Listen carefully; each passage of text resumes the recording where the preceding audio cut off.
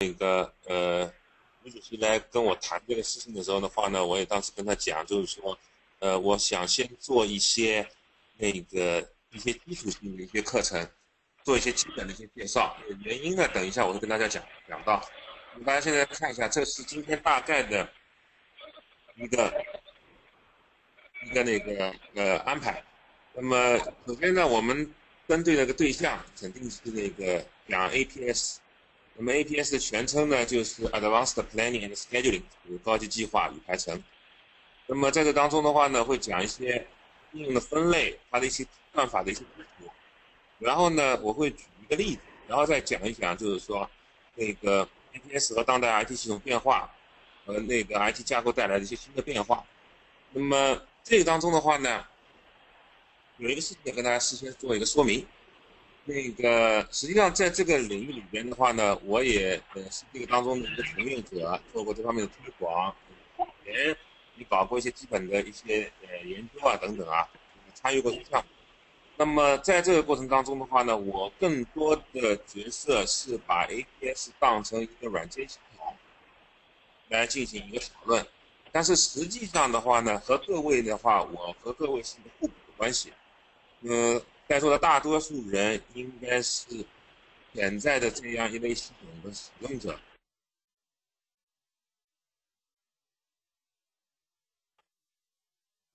呃，刚才静一下，那个。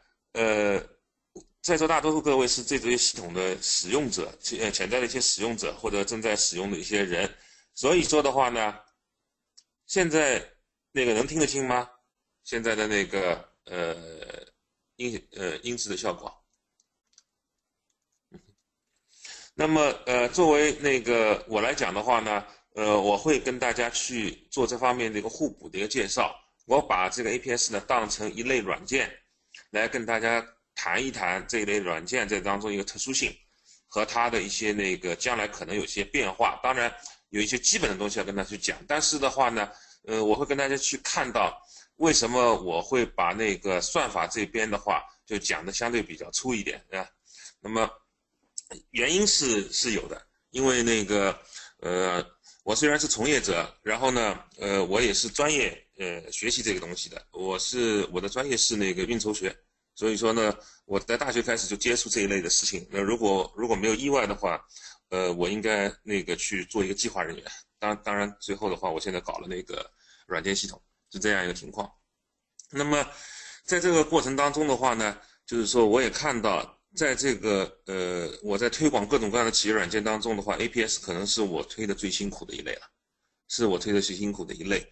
那么我也会跟大家讲讲为什么这个原因啊等等啊。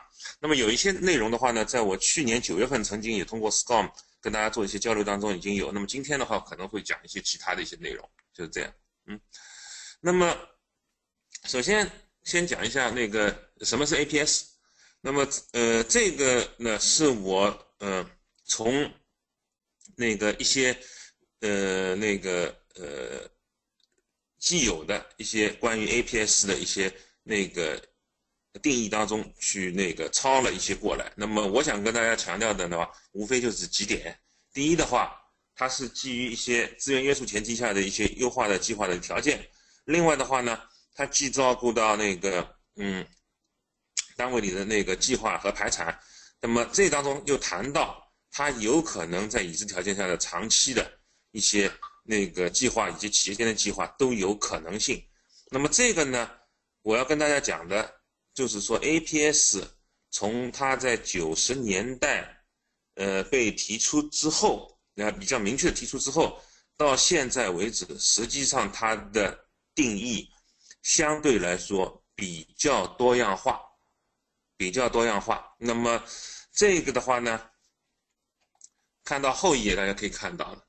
那么最早实际上，如果如果我有些概念的话，那个最早提 APS 的可能是美国的。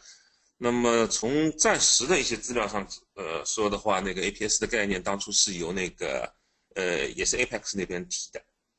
呃具体的话，我说句老实话也不是太清楚。那么我当时呢正在做那个一些企业应用管理系统 ERP 的推广啊等等，啊突然之间发现 OK。我们当时谈的是 ERP 的推广，或者以前讲的 MRP two MRP，对吧？那么突然间说，现在我们的企业应用系统有所谓的那个 six pillar，有六个 pillar，那么它把一个 ERP 系统呢分为了那个 ERP 的系统，然后有人事管理系统 HCM、APS 的一个部分，供应商管理 CRM，还包括一些其他的，一共六六个大类。那么，呃，从 APS 从 ERP 当中分出来的话呢，我个人是那个挺赞同这样一个分法的，因为那个至少在那个呃九七年的时候，呃，我去年跟大家讲的也讲到，就今年的时候，当时别人给我看那个系统的时候，我看过很挺多系统了已经，我我对任何一个那个当时的企业应用管理系统做计划方面的这些内容，反正。总体上来说是不能不是太满意的，总体上都不是太满意。那么当时如果有一个 APS 的一个一个提出的话呢，实际上是一个好的事情。那么我在这边的话呢，就是利用这张图跟大家说一下，那哪怕是 Apex 它自己也对那个 APS 进行了一个相应的一个划分，比方说它对那个 APS 和所谓的 SCP Supply Chain 那个 Planning。的那个工具做了一个相应的一个划分。那么，该怎么去划分的话呢？大家会看到，我们把相对狭义的在制造业当中的一些那个呃跟那个计划相关的一些内容，那么定义成了跟 APS 相关的一些内容。那么就是我在 slide 上面用那个一些阴影标定的一些地方，而其他一些地方的话呢，它涉及到了那个跨整个供应链、端到端、跨机构。或者是那个计划层次，呃，超越那个生产范围等等的话，都是那个那个那个呃呃放到了 SCP 的内容里面去。那么参考前一页 slide 里边讲到了那个，嗯，啊，嗯，哎。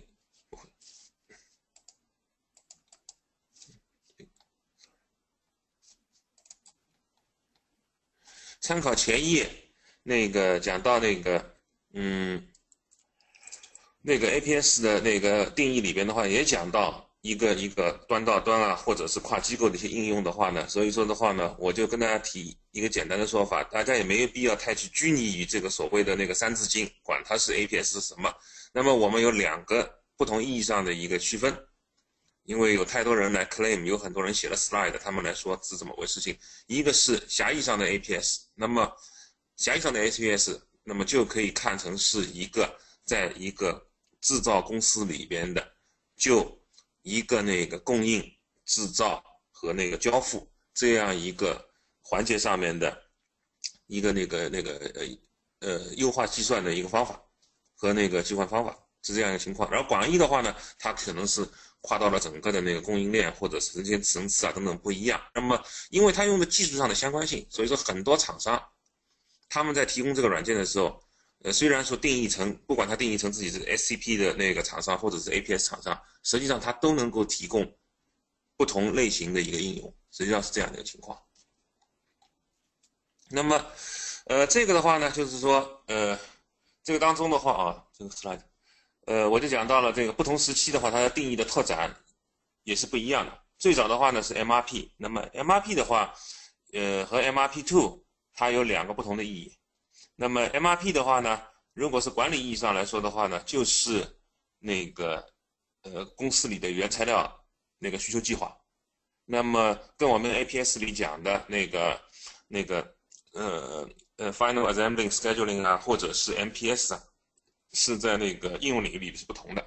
那么还有一种说法，在软件里边的那个 MRP 呢，由于他们基本上使用的算法都是那个线性规划，所以说的话呢，在一些那个初级的这些计划系统当中的话呢，MRP 的话，如果单从技术上来说的话呢，它有一定的那个通用性。有些那个从呃产成品开始到那个原材料一路的那个计算分解，有些软件并不分，有些软件是分的。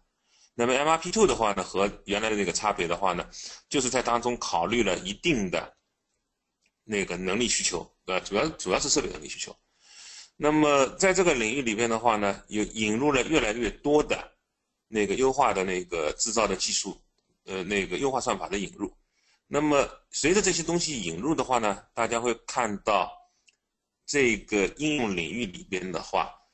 根据它的应用算法的不同，逐渐逐渐在各个不同的行业，或者在不同的那个技术上面，或者不同层次上面，有自己的一个所谓管理理念上的一个一个提出了。那么我后面列的那些东西的话，大部分都是跟这些相应行业当中的一个管理模式啊、管理理念啊比较相近一点。呃，举个例子吧，呃，除了制造业之外的话，同样的理论也用在那个流通和零售当中。那么流通和零售当中最基本的就是 retail planning，对吧？那么在这个当中的话，那个流通和零售这当中，包括那个消费品吧，它都有那个 CFPR 的一个概念。那 CFPR 纯粹是一个那个管理上的一个一个一整套的。一个方法和理念，它叫 collaborative 的 forecast planning 和 replenishment 协同的预测计划和那个补货。那么后面的话呢，是针对两个行业的一些一些变化了。，QR quick response 是针对于零售，而 ECR 那个 end consumer response 是针对于流通。因为这个两个当中的差别就是，呃，零售业它的下一道就是最终消费者，而 ECR。它是流通业是通过最后的零售点再去面对最终消费者的。那么当然，这个在今天这个环境下面，可能将来还是会有些变化，还是会有些变化的。那么还有一个比较重要的一些管理理念上概念，随着技术的增强的话呢，比方说大家很关心的那个销售运营计划 （Sales and Operation Planning） 就提上了一个比较那个呃重要的一个议事日程。那么原来的话呢？那个通过一些 Excel 的方法呀，通过一些那个呃呃那个那个呃系统啊，呃或者是呃人工的方法来组织这样一个东西。通过系统的话，可以使这样的一个计算，就是说有一个很强的一个一个支撑的作用在这个当中。那么另外的话呢，也有在实践方法上的一些东西。那么大家除了谈优化理论的话，呃可能看的最多的就是那个限制性理论。当然，限制性理论。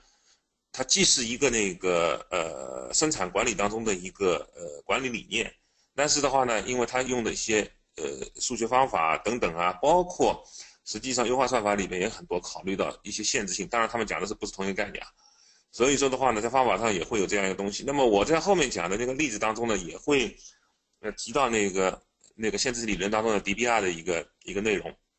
那么这些东西的话，都是一个系统。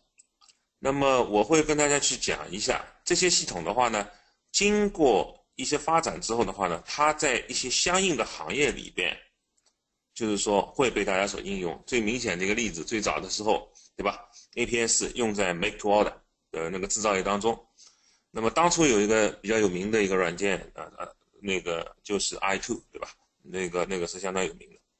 那么呃那个另外的话呢，有一些那个。高度的复杂程度的一些产品，那么有些产品它有那个呃成千上万个那个部件的一个产生，那么因为这个部件的一个复杂程度的话呢，需要有一些呃软件会那个啊，我们会有 PPT，我已经给那个组织者了，那个呃在这个当中的话，就是翻到 Zenbin 的角度，需要做一些相应的一些生产协调，来减少。在这个生呃总装过程当中产生的那个呃那个一些一些浪费吧，是这样的一个情况。另外的话呢，还有一种情况就是说，有一些那个计划和排程啊，尤其是像那个我接触过去年给你们讲的时候做的那个例子，那个 OEM 的一个例子，它本身呢是有一个相对来说一个长的一个生产周期的，它的那个 BOM 的周期有七十几天。它整个的那个接单周期是四十天，但它最后总装只需要那个嗯半天的时间，但他又有因为他 OEM 有传期啊等等的要求，所以他在最后一周里边的话呢，他还需要对这个排程进行相应一些调整。那像这样的一些的话，都需要就是说有很大的一个那个计算能力存在。当然，这个计算能力可以是在 Excel 上的，可以是在那个人，当然系统可以帮你的忙，是这样一个情况。那么另外一点的话呢，就是我刚才讲到流通的一个补货计划。那么等一下呢，我会简单的跟大家呃讲一讲这些计划当中一些内容，因为我想跟大家讲这些计划当中内容的目的的话呢，只是告诉他大家，呃，有一点，过去如果大家把这个东西看成一个系统，然后呢，有的时候强调优化前提下面，那么大家强调的是优化的复杂性和它本身的特殊，每一个算法都是不同的。但是实际上作为一个系统推广来后的话，它肯定是基于一定的公共的所谓的 common practice，对吧？公共的一些一些价值来进行一些推广的，它这这样才有规模效益。所以说呢，在这个当中的话呢，在某些特定的领域里边，他们已经有这方面的，就是说实践或者是成熟的一个方案，可以给大家继续用，是这样一个情况。另外的话呢，就是说这个当中的第三条，我就想跟大家讲一讲，就是说这个呢，实际上是作为我一个系统的提供者或者这方面的一个一个 IT 系统的那个使者或者是一个呃咨询人员吧，跟如果用户层面的一个。那个衔接，如果把这个看成一个技术的话，它本身意义并不是太大。那么关键问题是对大家怎么去用？实际上，这个 API 系统呢，对大家来说最大的用处是什么事情呢？第一个就是写，我都写在这边了，对吧？为供应链上所有的成员的信息进行计划，这是什么呢？就是你们通常讲的 PFEP。那 PFEP，呃，逐渐逐渐转转化成了一个库存控制上的一个很重要的工具。那么另外一个，另外一个是什么呢？缓解牛鞭效应。那么这个等一下我也会跟大家去简单的讲一讲为什么。那么当然了，有一个目的肯定是在的，就是降低库存。这个大家可能都比较能够理解一点。实际上，我我跟大家介绍这样一个工具的目的是说，这个工具对大家是有用的。那么你从哪个角度可以去为你发挥一个作用？大家从可以从这些方向去进行一个考量。那么这边的话呢，先给大家列一些啊，呃，我列了一些那个随便随便列的，那列的都是国外的那个软件公司。实际上做这个 APS 软件的公司，呃，远比这些多得多，远比这国内可能在国内那个本土的公司大概都有十来家，我估计，更不要说那个呃国外的，可比远比这个更多。那么在这个过程当中的话呢，有些公司我自己参与过他们的那个呃。参加过他们公司，有些的话呢，也以前做过一些其他的，嗯，这些硬东西的话呢，大家会看到它都是一个软件，都只是一个软件。那么你拿这个软件之后拿回去一个工具的话呢，最后是看你那个派用什么用处了。那不错啊，你们可以去试试，挺好的一个东西。从那个那个那个呃，如果你们最近要选它用的话，它从那个呃。那个怎么样讲？用交交互实用性来说，应该说挺好的，是这样一个情况。那么在各不相同的时候，有不同的一个用法，有不同的一个用法。那么这个当中的话呢，有一点我跟大家讲一下，就是他们在使用过程当中的话呢，不管怎么样，到今天为止，这些软件实际上它都它的模型都带有一定的行业特征，都带有一定的行业特征。虽说那个呃算法上是那个，那么因为它那个不同的行业啊或者怎么它的那个算法可能有一些不一样，所以说它它的模型都带有一定的行业特征。这一点的话呢，呃是说你在做这个的时候，你不一定那一个不一定被你呃哪个地方可以去用。呃，你在问昆迪克，我以前是昆迪克的员工，呃，昆迪克在国内比较主要的就是流程式行业，流程式行业，当然。如果你不是卖他那个计划的话，那可能呃你用的是其他的部分，是这样一个情况。好，那么我这边就跟大家去说了，我说那个你今天我们看到的那个 APS 软件的话呢，它有几个特点。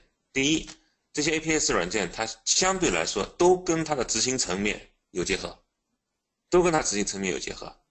那么呃，比方说。那个 MES 和 APS 的结合，在那个 Retail Planning 里边的话，大家会看到，它会跟一些也是执行层面啊，比方 POS 当然是执行层面了，还有就是说他们本身用的那个 Category Management 品类管理，那么在零售流通业里的品类管理有点类似那个制造企业里的工艺数据，有点类似，因为它是建模的一个依据。那么在这个过程当中的话呢，他们都会去做一个相应的一个集成。那么现在的话呢，那在制造领域里边，大部分是把这个应用看成是一个营运上的一个应营运上的应用，因为 PFEP 它本身是个营运上的概念，它天天在营运，它才有意义，对吧？有些那个有些软件的话，它还用那个像一些网络规划啊等等啊这方面的话，它用的时间间隔就会比较长一点。那么这个属于一些 tactical planning 或者甚至于战略那个计划的话呢，它这个上面的话，它的给你准备数据的时间比较长，你建模时间比较长，你可能搞个一个多月，然后的话再跑一次。呃，我在那个呃一六年年初的时候，呃碰到一家那个那个流通业的企，呃不不是流通快消品的企业，他们想就那个他们做那个线上线下那个。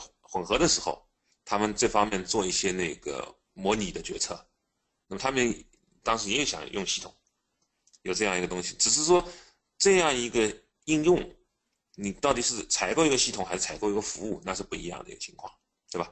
那么另外呢，我就跟大家讲到了，就是说这些东西的话呢，相对来说它与行业有关，因为与行业有关的话呢，所以说呃，现在我们听到更多的可能是跟业务方案有关，而不是跟那个技术有关，这是为什么？我后面也跟那个呃大家讲的时候的话呢，就是说呃技术部分相对来说是弱化一点的。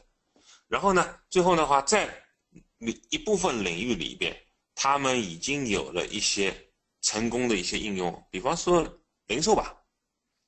实际上，我现在我至少见过两到三个做那个零售的软件，当然 JDA 本身是个很好的软件。我也见过一些其他的做那个零售计划的一些软件，那么会看到这些零售计划的软件，除了做计划之外，它实际上和它的终端和它的方方面面都是结合的很紧的。它实际上是一个完整的一个方案，包括我今天在这个右上角把那个 JDA 网站上他们的那个一个方案的那个呃截屏给给大家拿下来，大家会看到这个里面他们就有各方面的一个一个应用。那么另外一块的话呢，如果讲到 APS 的话，国内谈的最多的就是汽车，对吧？那么汽车有一个不一样的一个地方，因为汽车的话，它经过那么多年的一个培育，然后它的一个大规模生产，它已经形成了自己的一套就是生产和保障的一个体系。在这个过程当中的话呢，系统的应用是比较多的，那么而且也比较完备，成功的案例相当多。但是我要提醒大家一点。就是，国内的一个情况的话呢，还是会各有不同，会各有不同。比方说，如果这个汽车，对吧？它首先它的生产方式可能不一样。我在这边的话列了两个，最明显的一个例子，对吧？那个呃，大众汽车，它作为一个整车厂，相当有名，在国内也是，呃，经常是第一位的那个排名，现在肯定也能排前三位。但它的整体的一个做法是 build to stock。那么，build to stock 是呃他们的叫法，那么就相当于我们的 MTS make to stock 是一样，是这样一个情况。而反过来，我们去看另外一家当时呃教会我们中国人造车的企业，那个通用汽车。通用汽车的话呢，它是一个典型的柔性制造系统，柔性制造系统。那么这两个当中的话呢，有一个最那个那个呃。不一样的地方，大家可以去看到的，可以看到的。比方说，你去看那个那个大众汽车厂的话，它虽然说有一些那个混线生产等等，但比方说他们在那个上海有一个 B 五的生产厂总装厂，那么这很清楚了，它在这个上面就做这一个车型，然后它上面可能有一些配置的不同，是这样一个情况。而那个柔性制造系统的话呢，你会在那个通用金条系统那个看到他们。呃，当时做，我当时去参观的时候，他们在这个上面，同时可以做呃三到四个不同的品牌的车混线生产。那你会看到，那他那个那个总装线上面，呃，前面一个可能在做那个 sedan，后面那个可能在做 G L 八。那么当然，它里边还有一些不同的那个在里面，那那两个肯定是不同品牌的。那么这个当中的话呢，他们做法上也是会有不同。但不管怎么样，他们都面临了一个什么呢？就是说，呃，整个的一个。汽车二级、三级供应商的一个那个大的协作生产，那在这个当中呢，拉丝生产还是需要的。那么只是说，在拉丝生产过程当中的话，他们两边的配套的复杂程度各不相同，对吧？所以说的话呢，他们用的那个系统方法稍有不同一点，稍有不同一点，稍有不同一点。但是他们的理念还是相当相近，是这样。那么还有一个呢，就是流程制造。那么呃流程制造过程当中的话呢，比较有名的那个，应该说比较有名的就是，可能大家听说过吧，阿斯 t e c 对吧？那国内做石油的有很多用他们。那么那个阿斯 t e c 的确提供这方面的所有的一个技术。那么在那个流程制造当中，那么它的过程当中的话，它可以把那个整个供应链当中端到端的一个东西进行一个完整上的一个意义。那么阿斯 t e c 除了提供那个那个呃呃，除了提供呃那个叫什么呃生产计划上的一个软件，实际上在那个呃油品当中的一些运作的软件，他们也都是一个完整的一个提提供者，是这样的一个情况。那么包括刚才那个有一位那个安娜，她问了那个昆迪克那边，昆迪克在国内做的最多的啊，就是也是一个流程行业，就是钢铁和金属加工。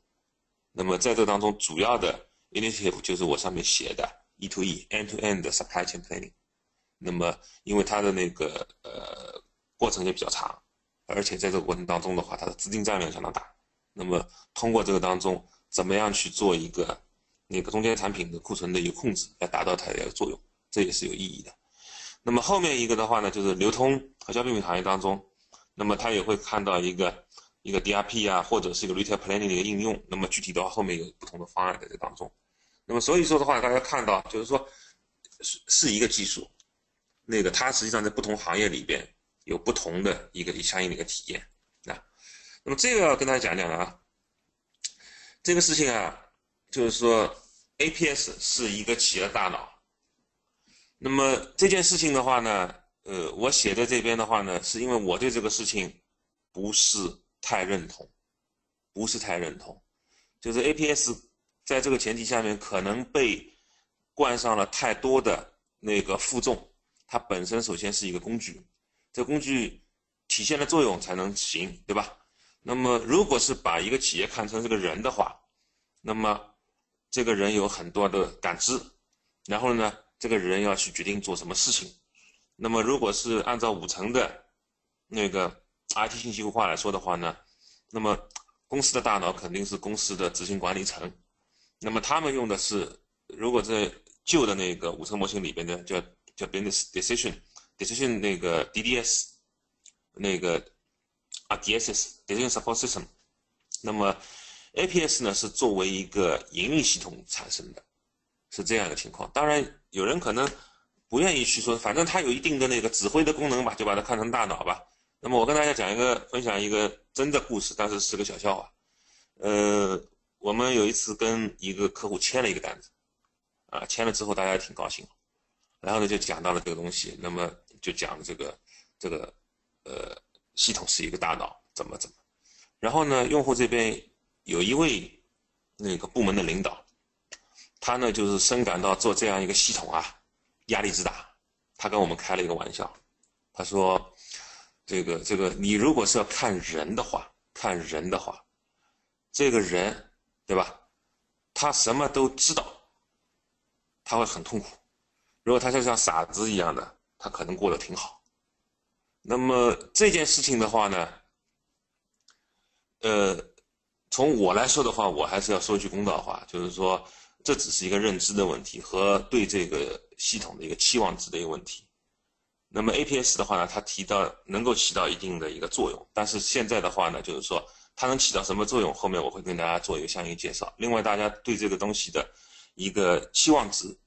要做一个相应的控制，那么这当中为什么会产生这两点呢？主要是因为两点，我们在作为推广过程当中碰到很多企业都说，呃，我的同行曾经用过这样系统，效果不好，这是一种情况。还有一种情况，呃，那个这个系统，呃，我现在是用人在做，人在啊，听不见吗？听得见吗？声音？用人。做那么这样一个替代，这样一个所谓的替代，用系统来进行替代，大家觉得是不是值得？那么这个是当中的一个一个情况。这是为什么说，就是说做 APS 的话，实际上现在还是一个挺辛苦的一个推广工作，是这样的一个情况。那么呃，讲到这边的话呢，我跟大家讲了一些，就是 ACP 的一些呃，对不起，APS 的一些前期的一些东西吧，就是。首先跟大家讲一讲，就是 APS 它反正是一种软件啊，大家一定要明白，它是一种软件系统。这种软件系统的话呢，在过去那么多年当中，和其他的硬软件相比，它这边相对来说，就是说推进的速度比较慢，比较慢一点。那么这当中呢，有它的一个难度产生的，也有一些其他的那个因素产生的。声音断断续续，可能我讲的有点断断续续，或者那个，嗯，sorry。那么接下来的话呢，那个我会跟大家讲讲，就是说后面一个部分，介绍一些基本的跟这个相应的一些算法，而且呢，就是希望大家通过这个东西呢，对 APS 的有一个相应的一个调整，认知有一个相应的调整。另外还有一点为什么呢？大家要讲到呃优化算法，那么一些人员在卖的时候，他为了把这东西卖出去，他把这个优化的事情，就是说介绍的是一个灵药。但这个灵药实际上是有一定的限制的。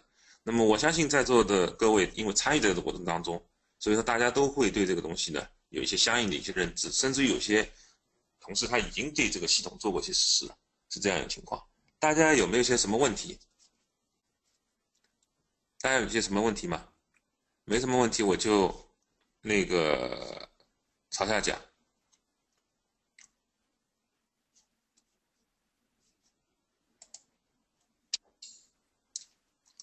好吧那我就继续，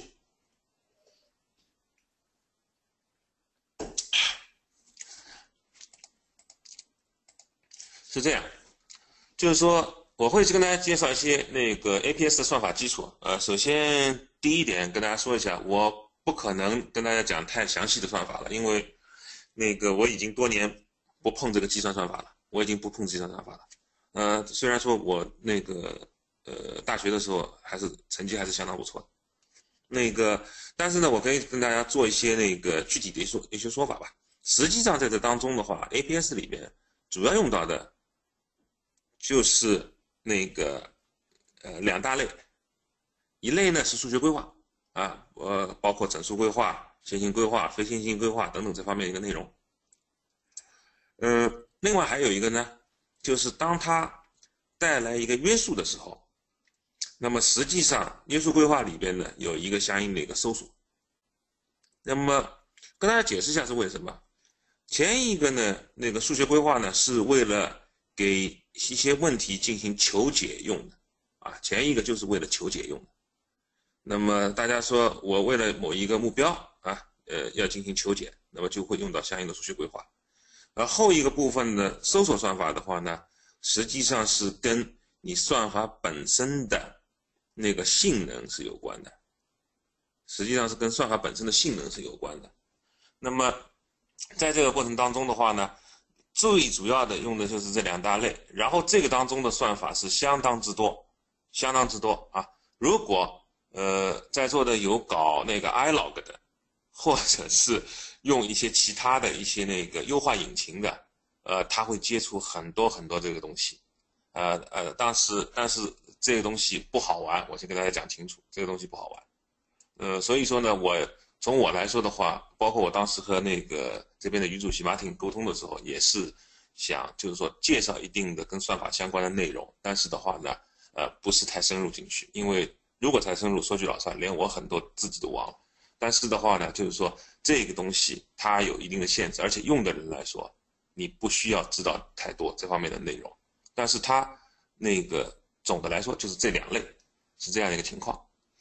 那么作为一个那个狭义的一个 APS 的话，我想跟大家讲什么呢？就是说狭义的 APS 的话，它实际上已经在那个营运的层面，针对这样一个呃供应链的一个环境，定义了一定的那个所谓的系统参数吧。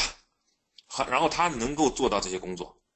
那么这些工作的话呢，有那么多厂商都在做，那么。如果是从 APS 系统来说的话，国内国外还有那个两类不同厂商，他们之间还是有一些差别的。那么，比方说，大家会看到，作为一个 APS 系统，它需要有基于业务规则的资源和物料的一个优化。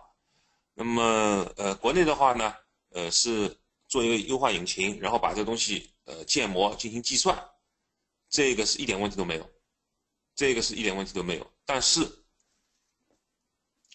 呃，但是如果是要分的多层，那么现在我们看到的，我看到过一些国内的应用软件，那个和国外的在本身的实践上可能还有点差别。所以说，我们看到的很多的那个国内软件做的呢，它不是做的那个 FAS，就是那个 Final Assembling Scheduling，呃，最终的那个产品的总装的那个呃排程，呃，就是做的那个呃最终产品的那个计划啊，基本上都是做在产成品层面的，因为那边的话相对来说没有那么复杂，是这样的一个情况。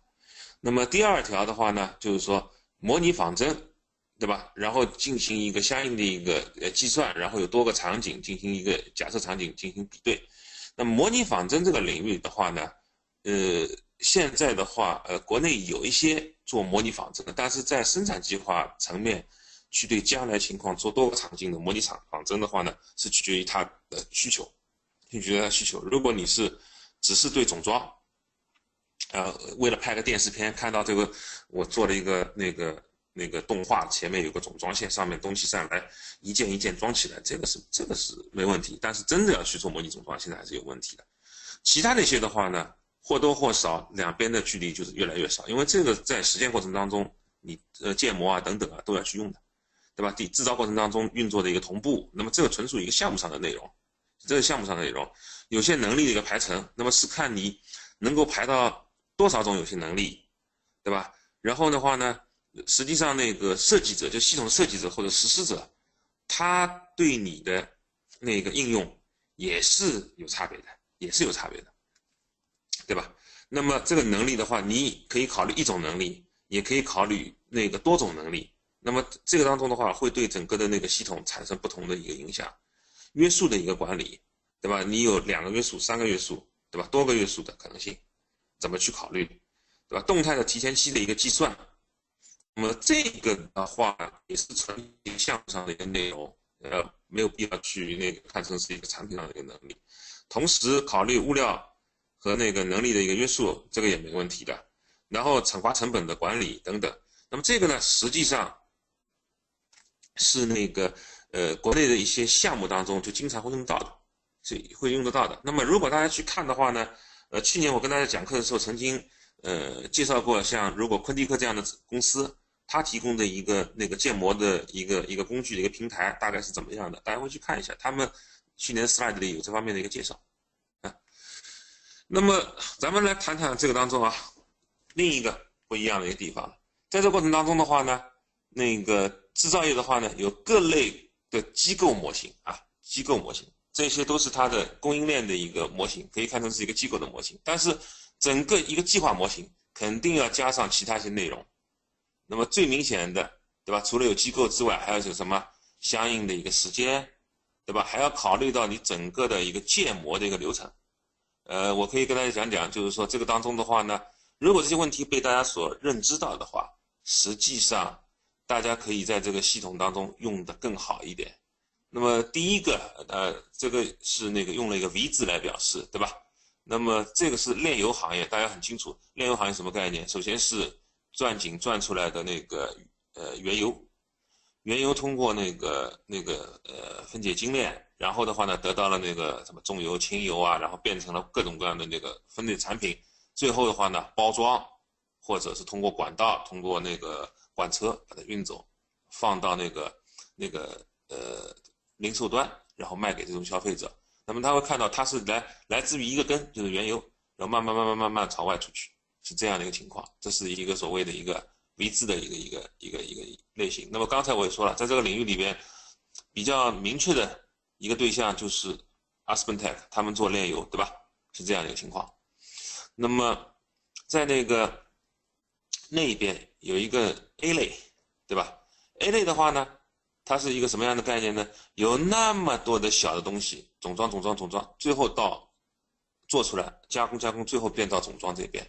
那么这个在什么呢？飞机、轮船制造这个行业都有。那么现在用的最多的，对吧？大家看到的就汽车，汽车这个系统在整个的那个计划排程上面跟这个比较相近。那么它和飞机、轮船差别呢？只是它的那个部件上的数量级。因为一台汽车如果是到那个钢板级的话，大概是两三千；如果是到那个螺钉级的话，大概是两三万；而飞机的话，基本上得二三十万啊，船弄不好更多，是这样一个情况。那么这个当中的话呢，他们都涉及到一个就协同总装的一个内容，对吧？那么甚至于在那个，呃，我曾经看到过一个呃国外的一个视频，呃，不知道是波音还是哪一家。它最后总装是个单件流，相当有意思。你看到那个总装厂里边，就跟我们看的汽车总装厂是一样的。它有一台牵引车，牵着那个那个货那个机的那个机壳，然后再慢慢的行进。到了一个工位的时候，那个工位的人就上去，把相应东西给装好。那个那个那是一个那个电视片，不是不是一个动画，所以说应该是有人就是有实现这样的一个一个做法。是这样的一个情况，那么当然我要跟大家说一说，这当中是有差别的，是有差别。那么有什么差别呢？对越复杂的东西，它的工程改型就相对来说比较复杂。比方说你一个飞机，对吧？你的那个呃那个那个叫什么？呃，你的飞机，你的一个组件。呃，一些公共组件啊，等等啊，已经在开始定型，可以去做了。但是有些关键部件可能还在设计。那它在这个过程当中可能会涉及到什么呢？边设计边生产。所以说的话呢，在这个那个 APS 的系统当中，必须要和工程数据的那个设计的那个流程做相应的一个配套。那么这一部分的话呢，呃，要看就是各家的一个应用的一个需求和前景了。因为这些样的一个企业的话呢，它的生产周期相对来说都比较长，相对来说都比较长，对吧？我见过的那个最那个最短一点的，可能就是这样的企业，比方说上海这边有一轮机厂，对吧？然后大飞机、造船，呃，我曾经接触过一家那个呃做那个飞机发动机的，他们一年四百五十台飞机发动机。那么像这样的话呢，他们。做这样的一个系统，它怎么样去协调好整个的一个生产能力？那么它肯定要在当中做一个相应的一个研究的，是这样一个情况。那么现在的话，这些公司的话都是用一个 Excel 加半人工在做啊，是这样一个情况。那个那个，然后的话，后面的话呢，这边是一个那个电脑生产，它用了一个 I 型的。那 I 型的是一个什么原因呢？是因为电脑的最终产品，它的配置各不相同。对吧？它的配置各不相同，那么这它用了这样的一个一个不同的一个做法。还有一个呢，就是这边有个 T 型的，那 T 型的话呢，它相当于是一个那个在流通里边，对吧？在用的，它是最后出来的是不同的一个东西，前面有不同的一个那个包装。那么我跟大家说的这个当中的话呢，就是跟大家讲了，这些机构模型虽然是各不相同，但它用的技术啊，如果后面我会跟他谈到的话。实际上也是有相通的，只是说，呃，在这个地方技术的话，先一步后一步是怎么样？当然做到的具体的是不一样的。如果我是以前搞那个数学系的学生，那在我看来是一样的。但是如果是说我是做系统的，那么这个系统当中的确是不一样。再跟大家说一下啊。那么在这还另外还有一点，我就跟大家讲了，大家千万不要去单考虑那个 APS 系统。到现在为止。比较成功的那个 APS 应用，它是作为一个方案，它和整个的那个流程，包括工程数据的，比方说在零零售里边，我刚才说了，就品类管理，就类似于制造里的工程数据，还有包括你的一些那个呃，跟那个 MES 的一些结合，都是有关系的，这一点大家注意的。啊，那这边我简单的列了一下。就是说，那个一个那个狭义的 APS，它本身是一种营运模型。我先跟大家讲清楚，呃，那个因为呃很多的做那个 SCP 的，就是供应链那个计划的那个，或者现在做咨询最多的，就像我刚才说的一下，有一家那个消费公司，他们要做那个在线上线下下面，他们全国的那个那个销售的那个呃网络的一个规划，那么它是属于一种那个模拟，对吧？我那天他跟我谈的时候，我。听了他十分钟，我就问了他一句话，我说：“你能告诉我，你这样的一个模拟，你的那个呃频率是多少吗？你是按周、按月，还是每季度，还是每半年？他跟我说一年两次。那么像这样的话呢，就是说那个呃，你是不是要采购一个系统，那就是另当别论了，是这样一个情况。那么呃，另外一块的话呢，就我们谈的很多的 APS，它实际上是一种那个营运上的一个概念，营运上的一个概念啊。那么在这个过程当中的话呢，就是一些相现在用的最多的这些相对来说定型的产品，当它的那个工艺数据被引入系统之后，然后进行系统的一个相应的一个分解，对吧？那么首先的话，你这当中呢要考虑有不同的一个机构模型。那么在这个机构模型当中的话呢，它就是引入了很多很多的库存点。那么这一点呢，我要跟大家说明一下的，这个很重要。为什么就是说 APS 除了我说那个 APS 当初在那个原来的那些企业应用管理系统里用的不好，所以说在九十年代末它被独立出来的时候啊，那个实际上挺有用的。另外还有一点，实际上公司的。现在大家看到的很多其应用系统，都在那个跨出去，对吧？用的最热的就是那个销售的。那么随着那个 Internet，那么走到了终端，走到了那个最终消费者的手机上面。那么那个但是的话呢，公司的管理系统 ERP 到现在为止，还是成熟的 ERP，还是围绕在一个。公司的资产负债核算体系的范围之内的，就 ERP 不管怎么做，它很多机构设定啊等等啊，是跟你这个公司本身最后出那个财务报表是有关系。那实际上公司运营现在已经是一个横向运营了，对吧？那个两个不同的那个财务实体之间的一个一个一个协作，对吧？外包啊等等啊，这些越来越多。那么这些都是会成为供应链上的一个内容啊。所以说的话呢，库存点。作为一个这样的存在，APS 可以和 ERP 里边在库存点上面形成一个什么呢？呃，这种交叉的一个一个部署的话，实际上对那个整个的营运的模拟是有好处的，是这样的一个情况，对吧？那么因为这样的话，你才要去考虑跟 ERP 对接。那么有人是想过，他说是不是能做在一个里边呢？我刚才跟大家讲的那个意思就是说，APS 因为一些原因的话，它现在已经不可能和那个 ERP 放在一个系统里了。有些厂牌它是在一起的，它那个系统它不是在一起的，啊，说一说一下这个内容。另外一点呢，我列的不是很全的啊，呃，那个限制，限制的话呢，有那个设备能力，对吧？有那个工具，那么还有一些大家也经常用到的资源能力，比方说一些有自制能力的一些员工，这个大家要知道的。我要强调的无非就是后两点，一个是目标，基本上现在能够提出一个。成熟的营运模型里边的话，都能够包括我下面列出来的一些目标，一个是及时交付，因为这个是属于客户服务水平。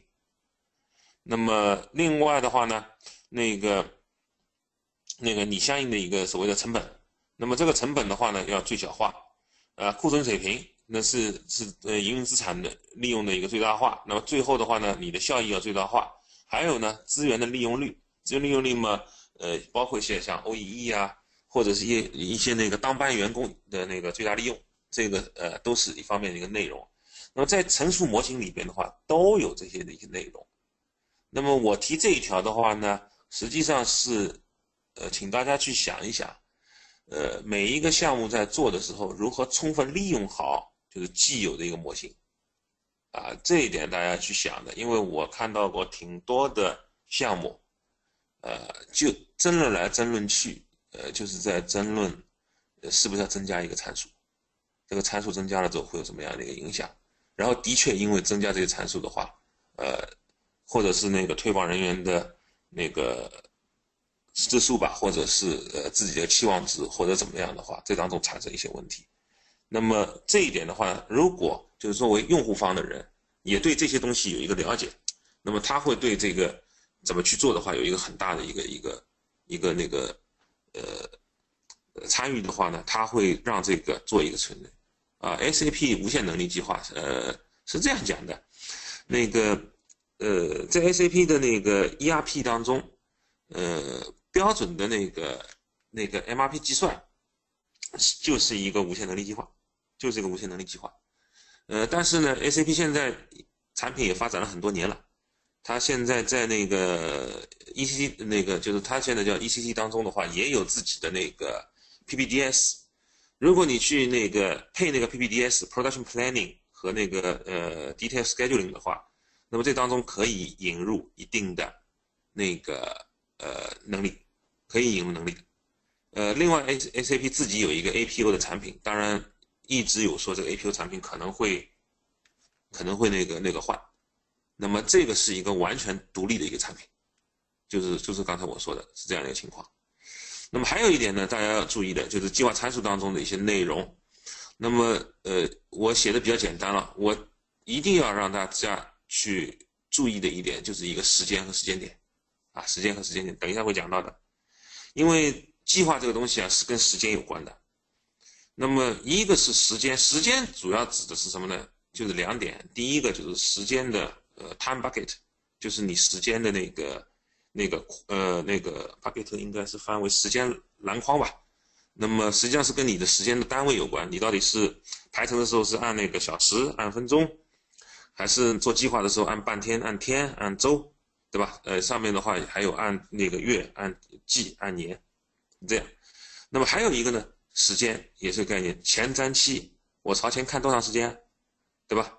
呃，那个五天六天，的不一样的时间点也很重要。为什么时间点很重要？等一下我会给大家看的例子当中有相应的一个时间点的概念，有相应的时间点的概念。大家会看到一个时间点，这个时间点它会告诉你，就是说我因为要参与这个计算，必须在这个时间点上做一些响应的控制。这个呢，的确是做系统的人很关心的一个事情。你说的能做很多事情能做得到，能做不到都不一样。那么库存水平的一些计算，对吧？那么，因为这个东西在计算的时候，库存水平是一个很大的一个应用。那么，在这个当中当中当中的话，包括前面也说了，有没有这个动态的一个计算是比较重要的一个内容，是一个比较重要的一个动态计算是个比较重要的内容。原来它是没有的，原来它是没有这些内容的。原来，比方最简单的一个例子，安全库存怎么出来的，对吧？大家说的那个通过 Excel 算好了导进去，然后呢，那个顾问和那个那个那个用户两边就看着，呃，反正。那个用户来承担一个责任，把数据导进去，是这样一个内容。那么实际上系统的话呢，逐渐逐渐可以去做这方面一个相应的内容的。嗯，那么这个当中的话呢，大家还看到，就是说我我提的为什么会谈谈到一个可能的修改呢？我个人谈的一个意思，我个人建议的是说，如果我们能够呃用户方和那个系统的实施者之间互相做一个了解，那么最大的。效益的发挥的一个 APS 的一个应用的话呢，是对这个 APS 的模型有有很相对深的一个那个理解，然后可以把这个系统的一个修改做到一个可控范围之内。那么，比方说你在目标的时候引入一些资源目标的调整，然后建立一个那个模型的一个那个整个的一个过程，这个实际上在我看到的现在系统做的好不好，主要是跟这些有关系，主要是跟这些有关系的。给大家举个很简单的例子吧，我比方我这一班有一百四十个员工，然后这一百四十个员工呢是在总装线上面的，在总装线上面呢同时装了五六个不同产品，这些员工的话呢，他根据他在那个呃做这个这这个产品的那个工作时间，来作为他评定他做这个产品的资质能力的一项标准，对不对？那么他就产生了一个什么动态的一个资质能力的问题，因为。如果我有一个那个，或者是 MES 系统，或者是一个八扣系统，它可以把这个交货的时候，把这个员工号和这个产品绑在一起的话，那么这张表一直在累积这个员工做得到的。在我排程的时候，我把这个数据拿过来，它会形成一个这样的一个一个次序优先级。那么肯定的有一点喽，因为我这个产品总装需要有两个人，那个产品总装需要五个人。那么如果一百四十个人，到最后我肯定是。排完的时候，希望我这些人一百四十个人最好用到一百四十的。如果不是一百四十的话，那一百三十九比一百三十八好，是这样的一个概念吧？那么这样的话呢，会引起我说的目标当中的引起一些目标的一些调整。那么大家要如何去考虑这方面一些内容？如果你对系统的理解、对模型有一定的理解的话，大家比较容容易达成一致。那否则的话呢，就会有一个很大的一个差异。因为在做系统的时候，有三种不同的人产生，一个是关键用户，他作为需求提出者；一个是你的咨询顾问，他作为后面优化算法一个调解的一个桥梁。所以说的话呢，这个当中如何大家能够协作好的话是一个问题。但是我跟大家讲的是说，有一个理念，就尽量去发挥原来那个模型，因为它已经是相对那个稳定的一个模型的一个作用。那么原因呢，我以后会告诉你们为什么。另外还有一个就是建立模型的一个过程，对吧？那么为什么会谈到这个地方？就像我刚才刚才讲的一样，同样是那个一个 A 类的一个生产，对吧？那么那个边设计边生产，和对一个相应来说可以在某一个时间段点进行那个断代的那个内容的话，会把那个呃那个那个它的那个流程上是会不一样的。那么这个当中的话，大家做的多的话，也会有这方面的一个相应的一个了解啊。那么讲一句题外话，为什么要讲一些跟流通有关的一些事情的话呢？就是跟大家讲讲，实际上它两边的算法是差。如果从数据算法上，就是我刚才的观点，数据算法上它差好多的。那么这个呢是最明显的一个例子了，你看这个是最早的供应链计划的一个案例了，对吧？嗯，那个更像那个，更像那个当时美国那个沃尔玛和那个。那个保洁的那个例子，那个呃那个呃沃尔玛通过进行那个呃一些系统的一些安装，我上面写的很多系统都是沃尔玛的系统啊，那个灰色的就是沃尔玛系统，嗯，EPC 是沃尔玛的那个电子呃商品目录，GDC 是那个 GDS 是沃尔玛的那个全球那个数据全球那个数据系统，那么这些系统的话呢？他把那个沃尔玛在北美地区，它整个的那个商品销售的那个需求的一个变化，及时能够进行相应的一个掌握，然后的话呢，他去做了那个传送给他的几个主要的一个供应商，比方说那个那个呃保洁是其中的一个，那么它这当中的话，它是一个当时是一个业务，是一个是一个业务的一个拓展，就沃尔玛是投资做了这些东西，沃尔玛投资最甚至于在偏远地方有用那个租用卫星线的。作用卫星，它的目的就是说，你当天晚上盘货的时候，要把这个系统的数据能够给我，然后他也给他们做了一些那个呃呃店内的系统，那么店内的话接货对吧，收货和盘货数据能够及时反馈过去。那他把这个数据整完之后的话呢，他交给了那个那个一些主要的一些那个消费品生产厂商。那么因为这个消费品生产厂商他能够及时得到这些数据的话，他们在交易结算的时候。是有一定比例的 incentive 的，就是说，如果你能做到这一点，保持我的整个的生产比较稳定的话，我可以给你，比方说千分之几个点的 incentive。大家知道，在流通业里边，它的利润也就是几个点，所以说，真的如果有个千分之几的话，那实际上是个很大的钱，是这样的一个概念。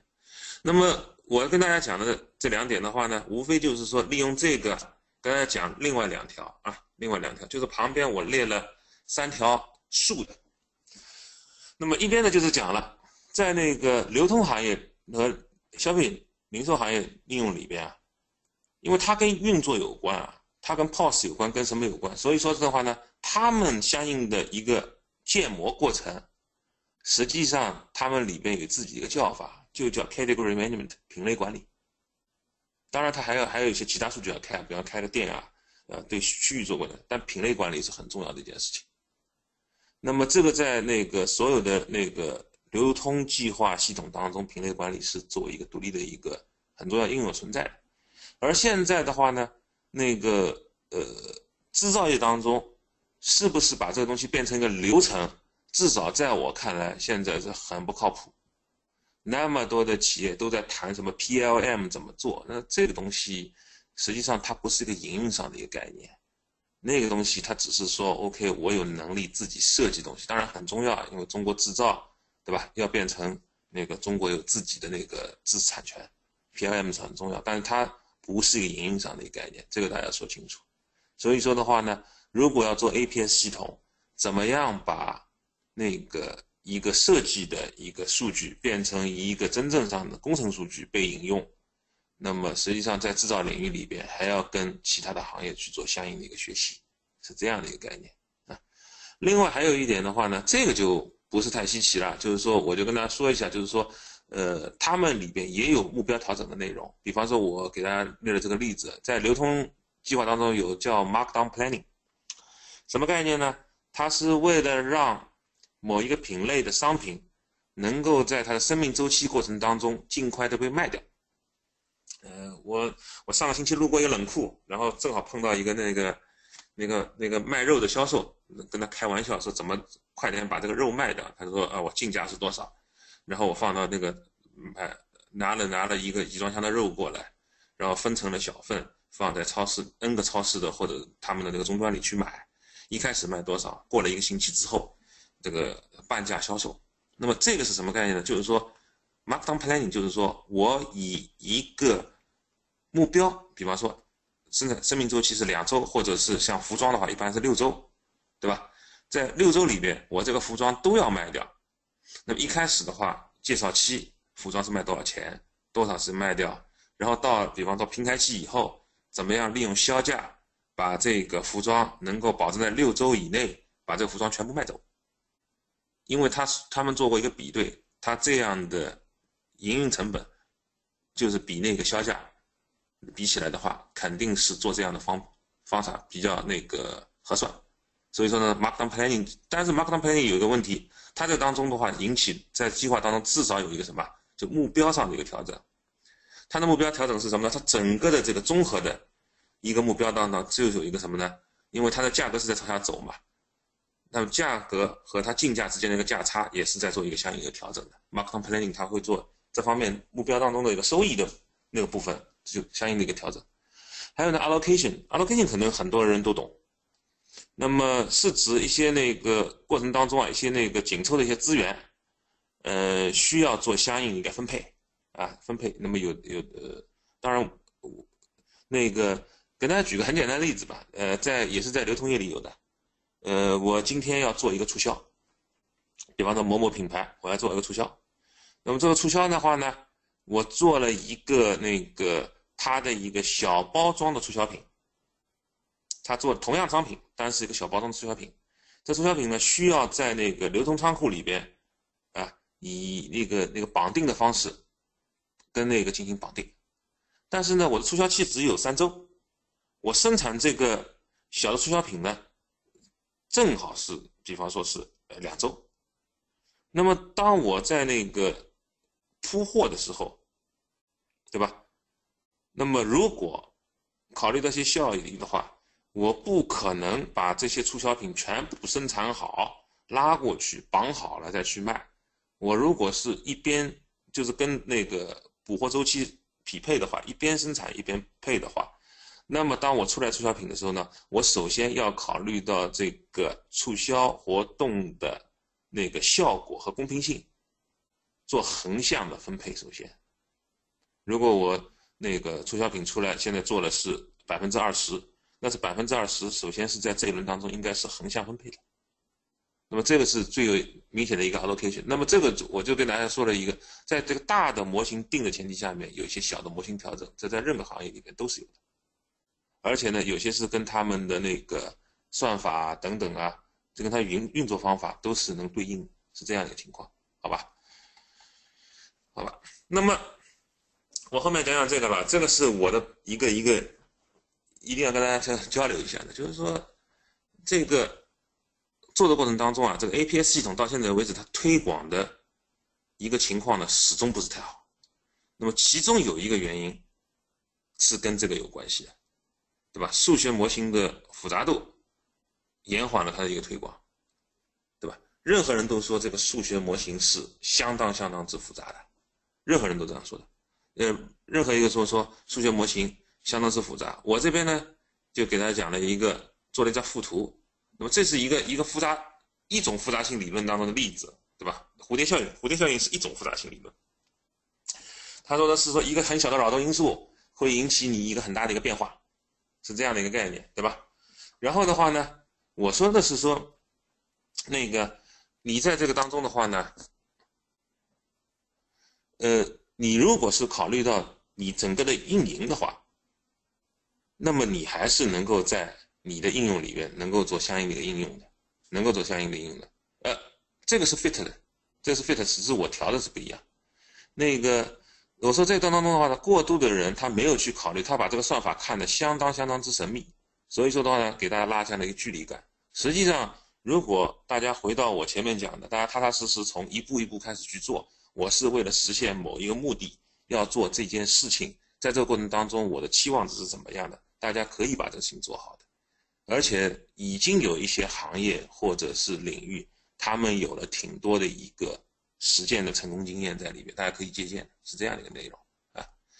那么这个呢，是我要跟大家去重点讲一下的，因为这个是我读大学时候念的，读大学时候念的，就是说数学模型实际上那个是一个有限的一个能力，大家要注意这些内容。而这些内容呢，那么多年我都没有忘，而且呢，这些内容实际上对你今后。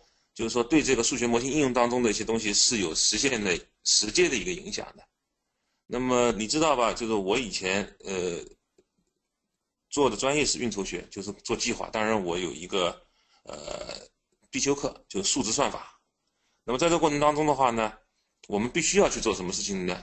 就是就在你做任何一个计算前面，你要对这四个内容要进行一个讨论。就那当然，这个是跟什么呢？就是跟你我们讲的每个算法可能不一样有关系。当然，我们做出来的目的是让这个算法可以重复引用。第一个算法是什么呢？你这个得到的那个完备性，就是说你当时啊，若到我们今天做一个系统实施的项目来说的话，你在实施之初，你这个信息沟通是不是完整的，对吧？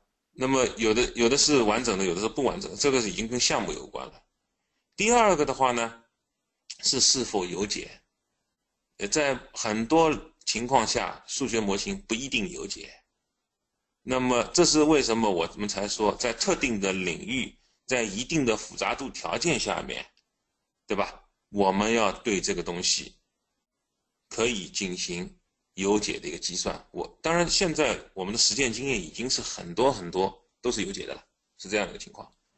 那么还有一点的话呢，也跟有解有关系，也跟有解有关系，就是说有解的话呢，它也考虑到做一些相应的一些模型的分层，呃，这个在呃前面的那个呃最早的那个呃 APS SCP 的那张图里边它是有的，它。最底下的是排程，上面是计划，在上面的话是 mass planning，在上面是那个呃 strategic planning。那么这样的话呢，它利用这个分层的话，也是降低了它的复杂程度，然后的话呢，以促进它的有解，是这样的一个目的。那么这些的话呢，呃，大家一定要清楚，这实际上是所有搞数据规划的人的一个共同的一个做法，都是这么干的，不是说他呃某一个人跟你讲这个他。呃，他不懂或者怎么样，他真的是这么干的，是这样一个情况。那么右面的话呢，要讲一讲了，这个也是挺重要的。一个是什么呢？收敛和自信区间，什么概念呢？呃，你们现在并不知道这个是怎么来的，你们只是说 OK，我反正有一个叫优化引擎，whatever，这个是 ilog 或者是其他一些开源的或者是要买的，然后我把这个参数弄进去，然后它进行计算。我们当时是学怎么去设计这个算法的。那么在这个过程当中的话，你就是要什么呢？你算出来，我是用离散算法算的。我，你你你这当中二乘一，我在计算里算的时候，计算机里做的时候，它不是二乘一啊，是一个数字算法。那么那个那个收敛的是，你这个是不是收敛？就是说你在是是不是会有结果？计算机上有结果。另外还有一个很重要的一个内容，自信区间。你算出来那个内容啊，你有多？少的那个范围之内，它是可信的，它是可信的。那么现在到底有没有什么最新的论证？我不清楚。当初我们基本上就是认为自信区间是七个时间段，七个 time bucket。这是为什么？我在前面也始终跟你们讲，你们要注意时间啊，这个是有关系的。另外呢，为什么会跟七个时间段会影响什么东西呢？大家会看到，因为执行时间是有限的，所以说才会产产生什么东西？牛鞭效应，对吧？你根据一个数数学算法算出来，它这个参数有可能变化，那么它在前面的话，它的那个呃，虽然说和实际的差异比较小，但是后面的话它差异比较大，就就类似一个牛鞭效应，就类似一个放大，是一种放大，是一个牛鞭效应吧。那么为了要做这个牛鞭效应进行消除，那么如果通过一些系统，对吧，进行滚动计划，对不对？那么可以利用一些计算能力进行滚动计划，然后呢，把这个自信区间朝前去推，对吧？朝着朝前去推，那么你可以去做这方面的一个内容啊。这你刚才举的那个例子，我去年那个做那个 printing 当中有这样一个 demo，有这样一个 demo 的，呃，当时就是呃讲到这个地方，就是说我刚才前面也讲了，就是说我有一个 OEM 厂商。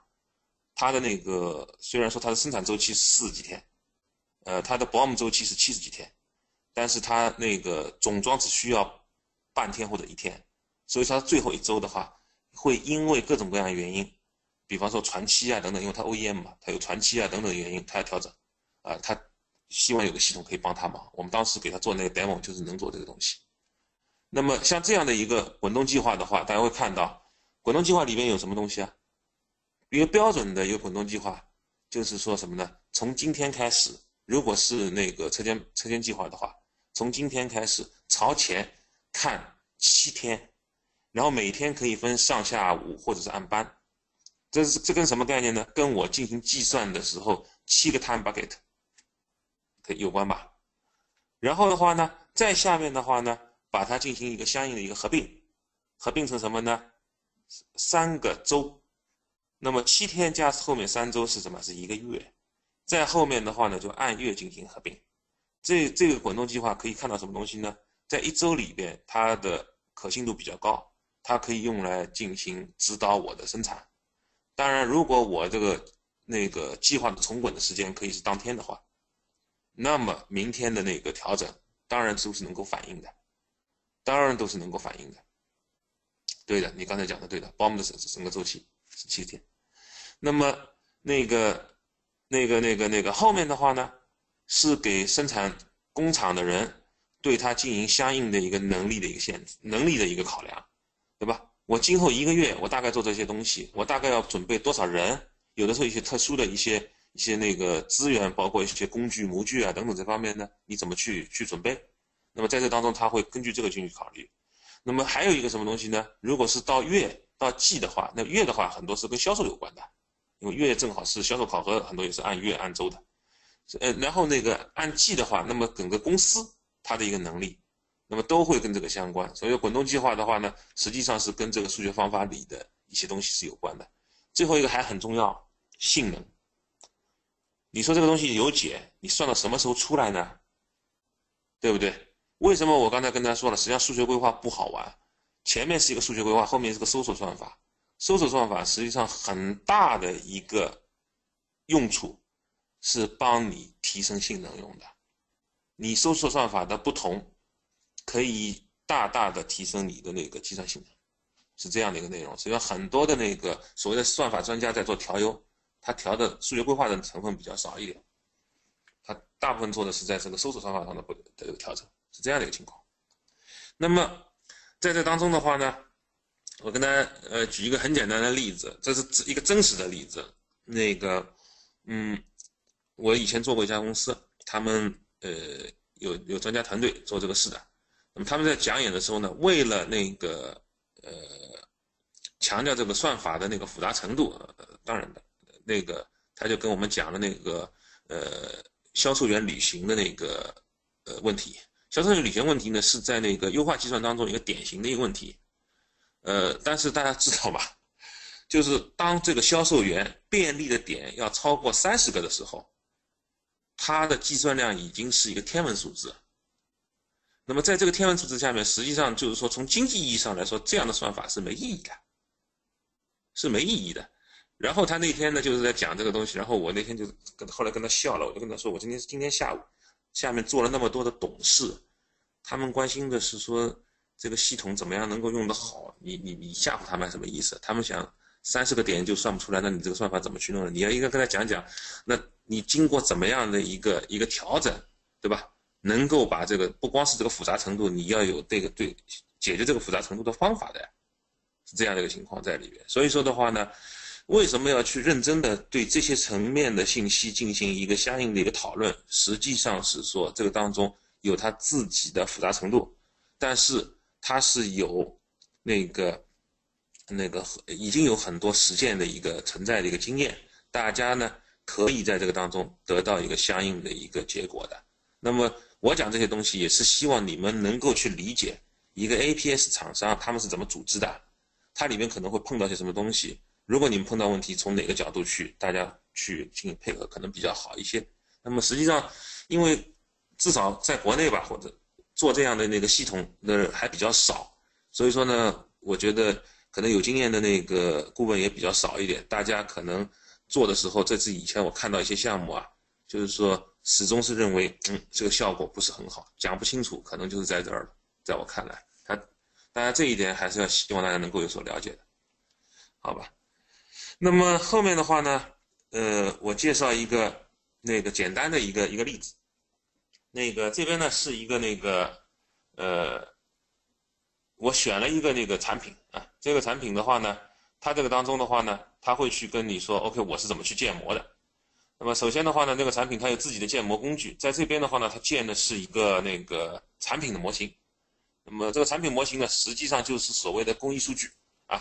那么呃，有一点跟大家说一下啊，那个工艺数据，呃，尤其是装配业的，呃，进到 APS 系统当中的话呢，它和你在原来那个呃 ERP 里的那个数据的那个呃处理方法会不一样，呃，会不一样。为什么不一样呢？到这边来，大家看一下，为什么会不一样呢？是有两点。第一的话，呃，比方说这边有个车，那么在这个当中的话呢，你这个车当中的话，它本身是什么？车当中有相应的自己的一个配置，对吧？我比方说那个当年那个通用造车的时候，他们一开始在网站上可以配九个不同的配置，九个不同的配置。嗯，我的那个变速箱是什么样的？然后我的那个那个内饰是什么样的？它可以配不同九个。我呢配出来之后的话，你在系统里去算的。那系统里算的时候的话呢，那么在系统计算的时候，它有一个所谓的基于规则的一个计算。所以说的话呢，它的数据的组织方式，如果你原来系统里面都是。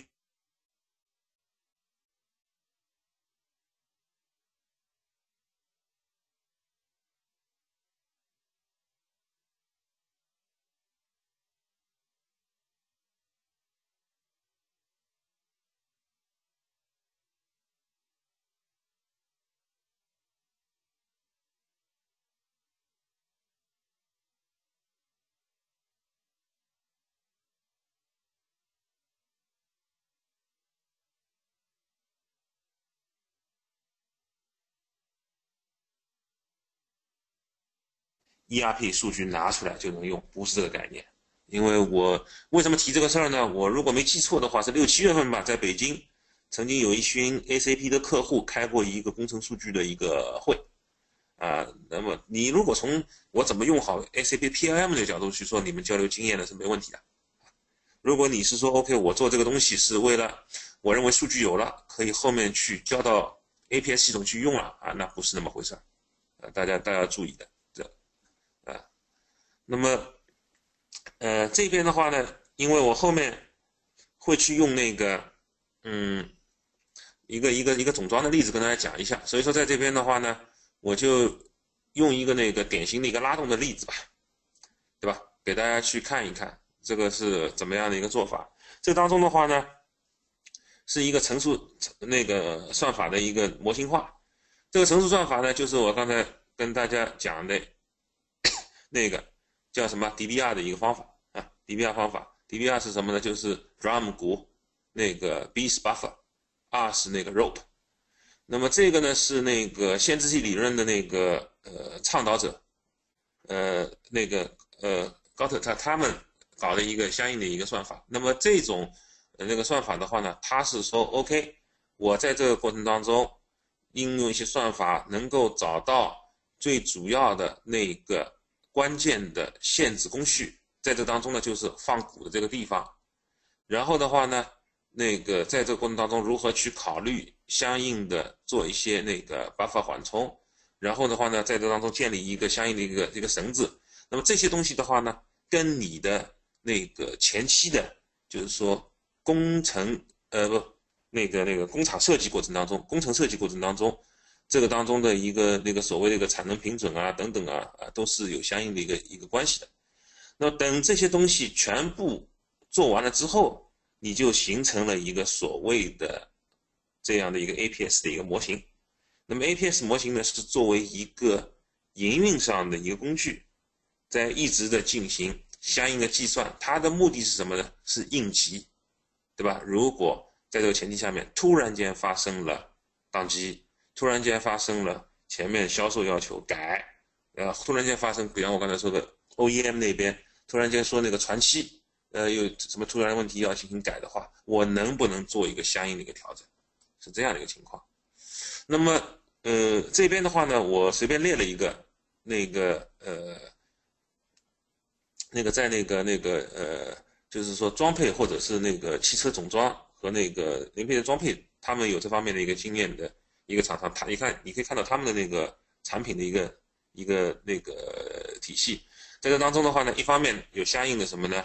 有工程数据，对吧？它这边叫 product documentation，另外一方面的话呢，是 configure。Configurator Rules Engine 就是基于那个配置的那个规则的引擎，然后呢才是它所谓的那个 Advanced Scheduler。下面的话呢有相应的一些跟执行层面有关的事情。那么这部分内容的话呢，大家最后才是真正意义上业务执行层那个蓝色的。那么大家现在的话，如果看 APS 系统的话呢，只需要看上面的 Planning 的那个层面就行了啊。但是这个当中非常清楚，如果你现在在那个要做这样一个 APS 系统的话，那么它一定要有一个相应的成型的成熟的一个模型，那么要考虑一下这些相应的一个内容。刚才我跟大家已经做了一个简单介绍，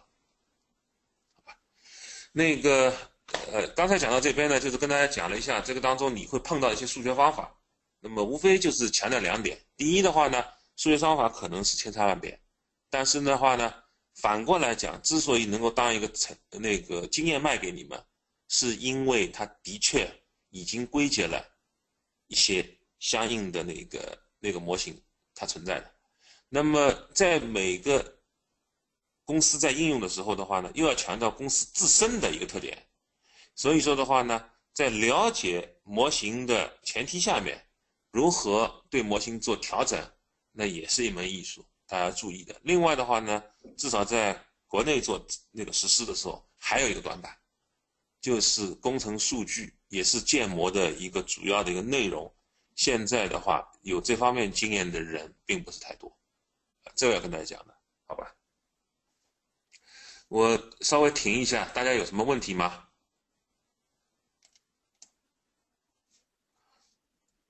后面会比较快。那个 slide 我已经给那个呃组织者了。那个 slide 当中就是后面那几页 slide 是没有的，因为这是别人的一个案例，所以说我把它删了。那个前面的 slide 你们都有，是这样。那么我给大家看的这个案例呢，它是一个汽车装配业的一个那个呃案例。那么他们呢？呃，你知道汽车的那个一级供应，它是一个汽车的一级供应商，它做一个汽车的一个主一个一个比较重要的一个部件，然后它呢就是说一个一个场景，就是说它每天它从那个总装厂那边，呃，那个拿到那个他们需要那个呃补货的一个情况。另外的话呢，它是一个在这方面技术的一个独特的提供者，所以说的话呢，它也为不同的那个。呃，总装厂不同的那个客户提供那个相应的一个产品，这个产品是通用的，啊，当然每家有不同的东西，对吧？因为它这个当中包括三部分内容，它既有那个电子，呃，线缆，也有那个那个那个那个外壳，有有一些那个这方面的一些内容。那么它既有那个电子，它就当然有那个电子有那个焊接啊，对吧？有那个测试啊这个工艺，然后有。那个线缆，那么又有焊接了，有那个那个呃外壳的话，那么还有一些其他的一些内容，包括那个呃，甚至于有一些那个呃喷漆啊等等这方面内容在。所以说的话呢，从工艺角度来说的话，它里边也挺复杂的，是这样的内容。那么在他得到的，他呢作为一级供应商，那么他前面的话呢是总装厂，对吧？总装厂的话，它有两类，一类总装厂的话，它可能是那个自己生产了，给给别人，给别人去用。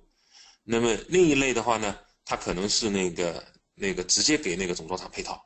那么总装厂就有拉动计划，还有一些它可能是远一点的话，通过那个汽运或者是甚至于船运出去，那么它还受到一个船的一个影响。那么在这个过程当中的话呢，他需要去做这样一个内容。那么我给大家这个例子的话呢，他们这个项目。马上就要上线，马上就要上线。那么他做这个过程当中的话，大家看到这是他的第一个结果啊，第一个结果。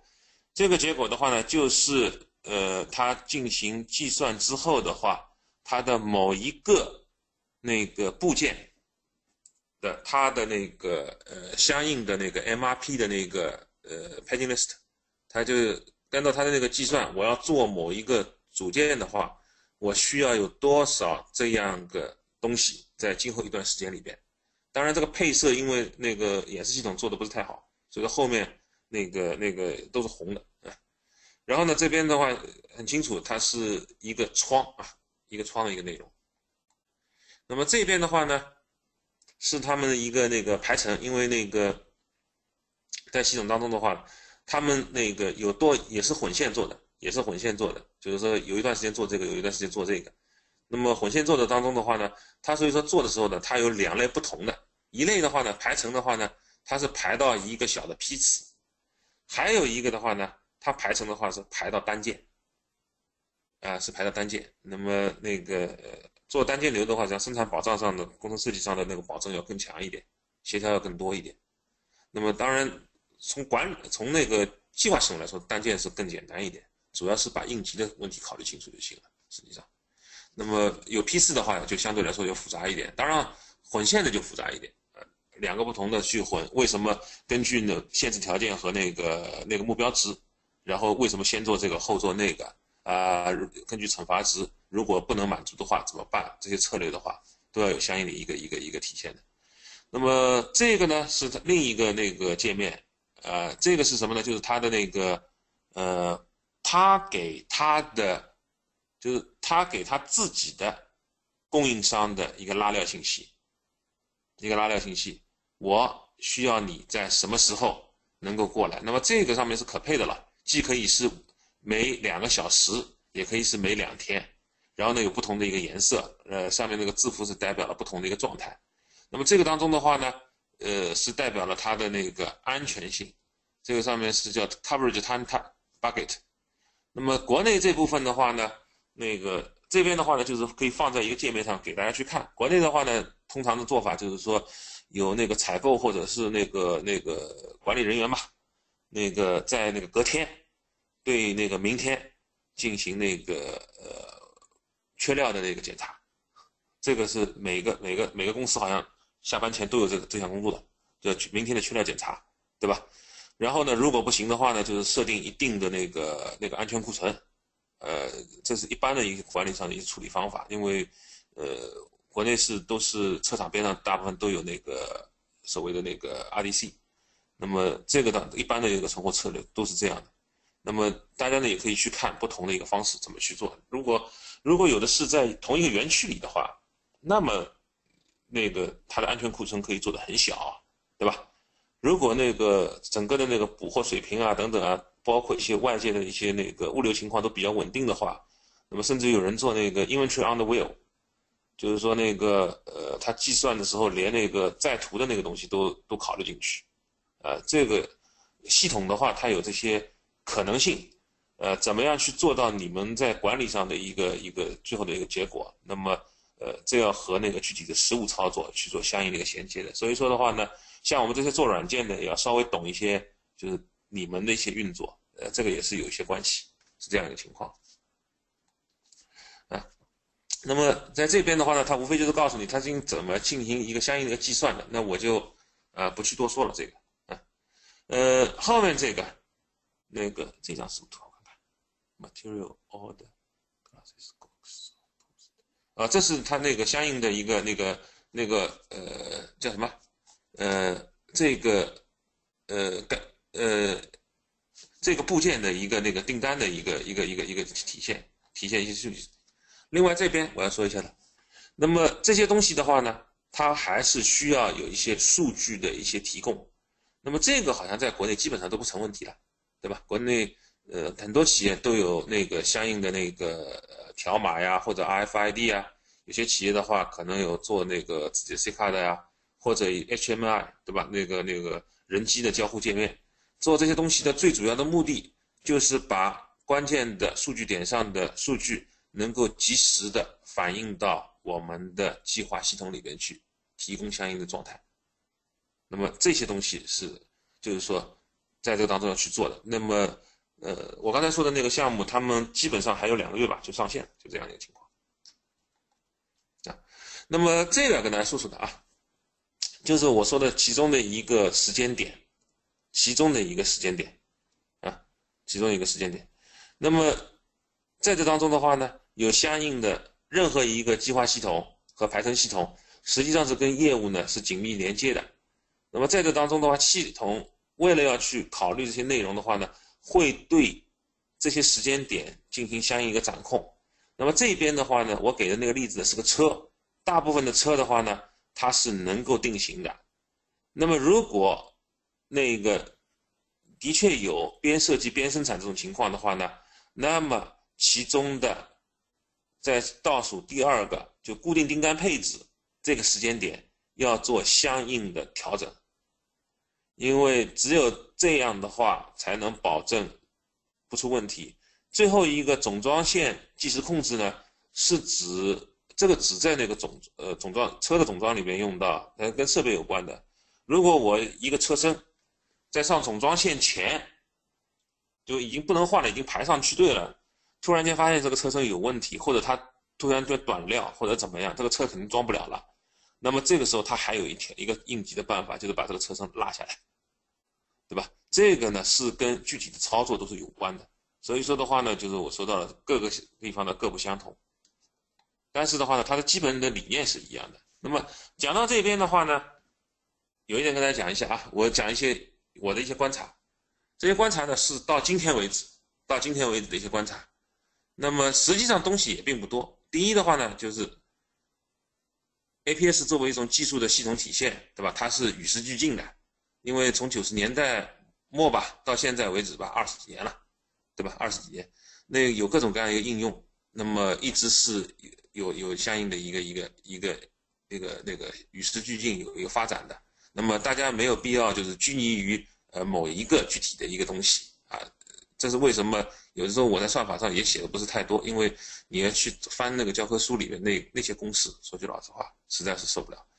然后呢，算法的差别是存在的，但是的话呢，作为一个那个计划的运营模式，它还是能够总结出一些相当成熟的东西，被大家成熟去应用的，对吧？那么还有呢，就是说我说的狭义的和广义的，或者是营运上的和战略上的，它是存在的，但是它在算法上实际上是有一定的通用相通的。这一点要跟大家说一下，否则的话，这个东西大家一直认为它就是一个特殊的东西，它就没有被推广的那个理由和必要。实际上，呃，挺好用的，是跟大家说一下。那这些东西的话呢，就是跟大家讲了一下，就是到今天为止大概是这样一个情况，大概是这样的情况。我还是挺鼓励大家，如果有需要用这些系统的话，大家可以去考虑如何备用到这些东西，是这样。那么啊。后面呢，就讲讲那个将来的一些一些事情将来的一些事情。呃，我稍微停一下，大家有什么问题吗？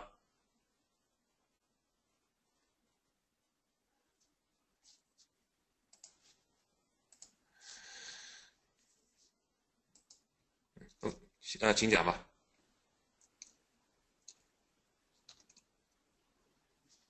飞利浦，对的。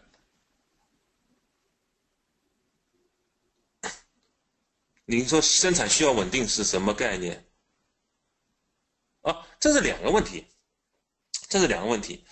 我说了，大部分的那个生产的 APS 系统啊，它是一个营运系统，就是说，当工程那个呃计划肯定要变，这我还是支持计划变，因为我我给大家做过很多 demo，这个里边的计划都是应急用的，只是说你做什么样的应急。第一点的话呢，就是说工程更改定下来之后，呃，工程设计呃工呃应该说呃工业工程那个设计定下来之后的话，实际上你整个的那个生产过程啊等等啊，包括产能等等是定的，是定的。这个东西的话呢，就是说你还是要去那个呃，为什么我说这是个营运上的一个内容，就是这样一个情况。如果你是当时定的是那个呃拉式生产，然后这个当中是有那个批量的，那就就是这样一个情况，系统都是能够支持你的。系统帮你做的是什么事情呢？系统帮你做的是对那些目标进行相应的平衡。那么计划呃最好不要变，我觉得不可能。因为我曾经接触过，呃，消费品行业，那么他们那边呢，呃，至少到现在为止，在我看来还是比较简单。消费品行业因为量比较多，所以他们的一般的反应周期呢都在周，所以他这边都不存在计划变不变的问题。但是我也见过有一些行业，虽然量挺大，但他利用人力，他的那个计划调整周期是一周两次。而且他还是用人力，所以说呢，你说计划变不变，那那是要看公司的，对吧？因为一般来说，计划变动啊有两种情况，一种情况就是说，它计划变动是因为不可抗力，机器宕机了，没有料了。那没料，说句老实话，跟计划部门那物料管那个 PMC 里边的那个物料掌控还是有关系，物料管控有关系。那个更不要说那个那个那个那个那个宕机，对吧？那是另当别论的事情了。那更大一部分是来自于什么东西呢？是来自于销售的变化。那今天这个社会，那个那个，实际上那个有多少是那个都是还是客户第一的。所以说的话呢，就是我为什么我在去年给大家讲课的时候讲的那个 OEM 的例子，最后我讲的那个变动的原因，也是因为说销售要变。我给大家变的那个交期是说，给大家假设的意思是说，OK。因为那个今天客户跟你联络，我们安排的船期和那个车，而你的那个总装又只需要半天一天，你能不能帮我调？那的确算是能帮你调的，是这样一个情况，是这样一个情况。所以说的话呢，这些东西能不能调，呃，要自己去看，那取决于两个能力啊，取决于两个能力。第一个能力。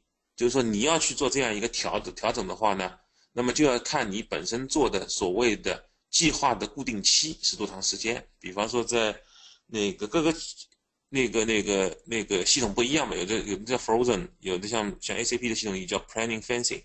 那么那个那个那个它有它有这样的一个固定，这个这个期间之前，呃，你你可以调整，过了这个期间了，呃，那个时间少于这个时期间段了，那就不能调了。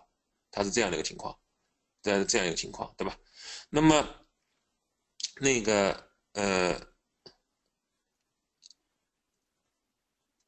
你说什么制造业车间排产，考虑资源复杂度不高，有好的，呃，那看你是怎么样的，因为那个呃，软件现在有各种各样，国内的我看到的是这样一个情况，就两部分原因，大部分是因为人员的水平不够。大部分是实施顾问的水平不够，实际上跟那个、那个、那个叫什么，呃，产品本身关系并不太大，因为我已经跟大家说了，它产品就是有一定的局限性，然后这个产品只要有行业的经验，对吧？那么你接下来论证呢，就无非就是它性能，在这两点论证前提下面，那么后面去看的就是顾问的能力了。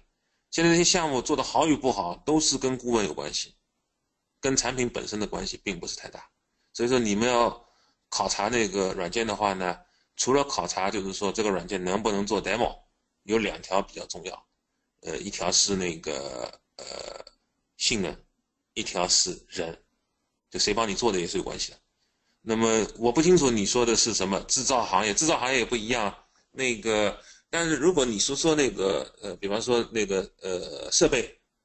比方我刚才说的那个，呃，昆，我以前在昆迪克公司做过，他们国内做的最比较多的就是技术加工，那这块它是比较好。但是你要他做那个所谓的那个呃离散制造，呃呃，就相对来说比较难一点，对吧？然后那个那个消费品流通他们也有，那现在有一些其他的厂商也在做，各各不相同，就是这样。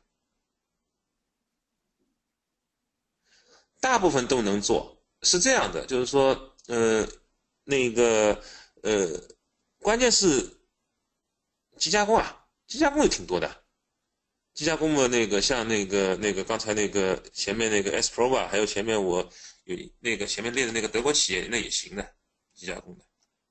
等一下，我列到前面去看一下。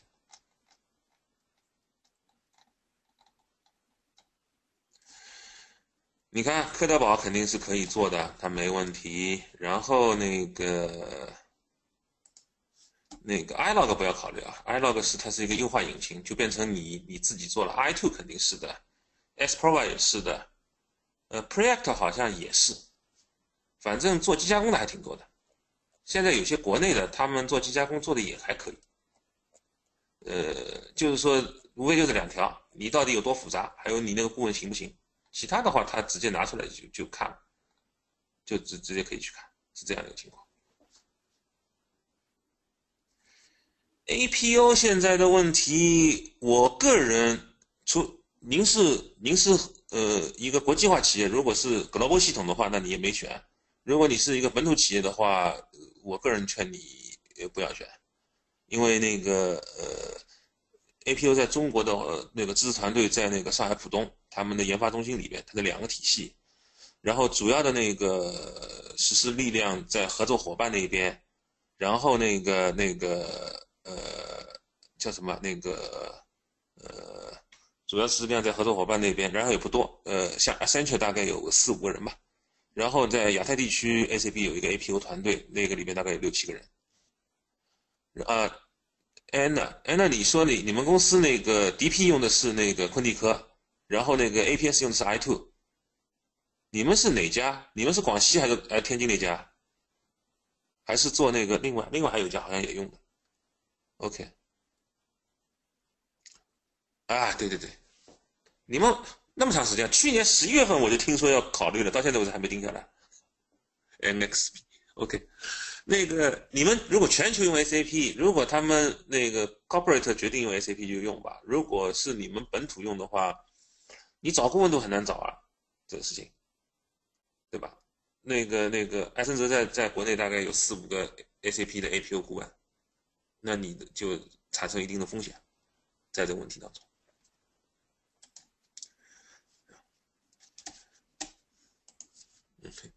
对呀。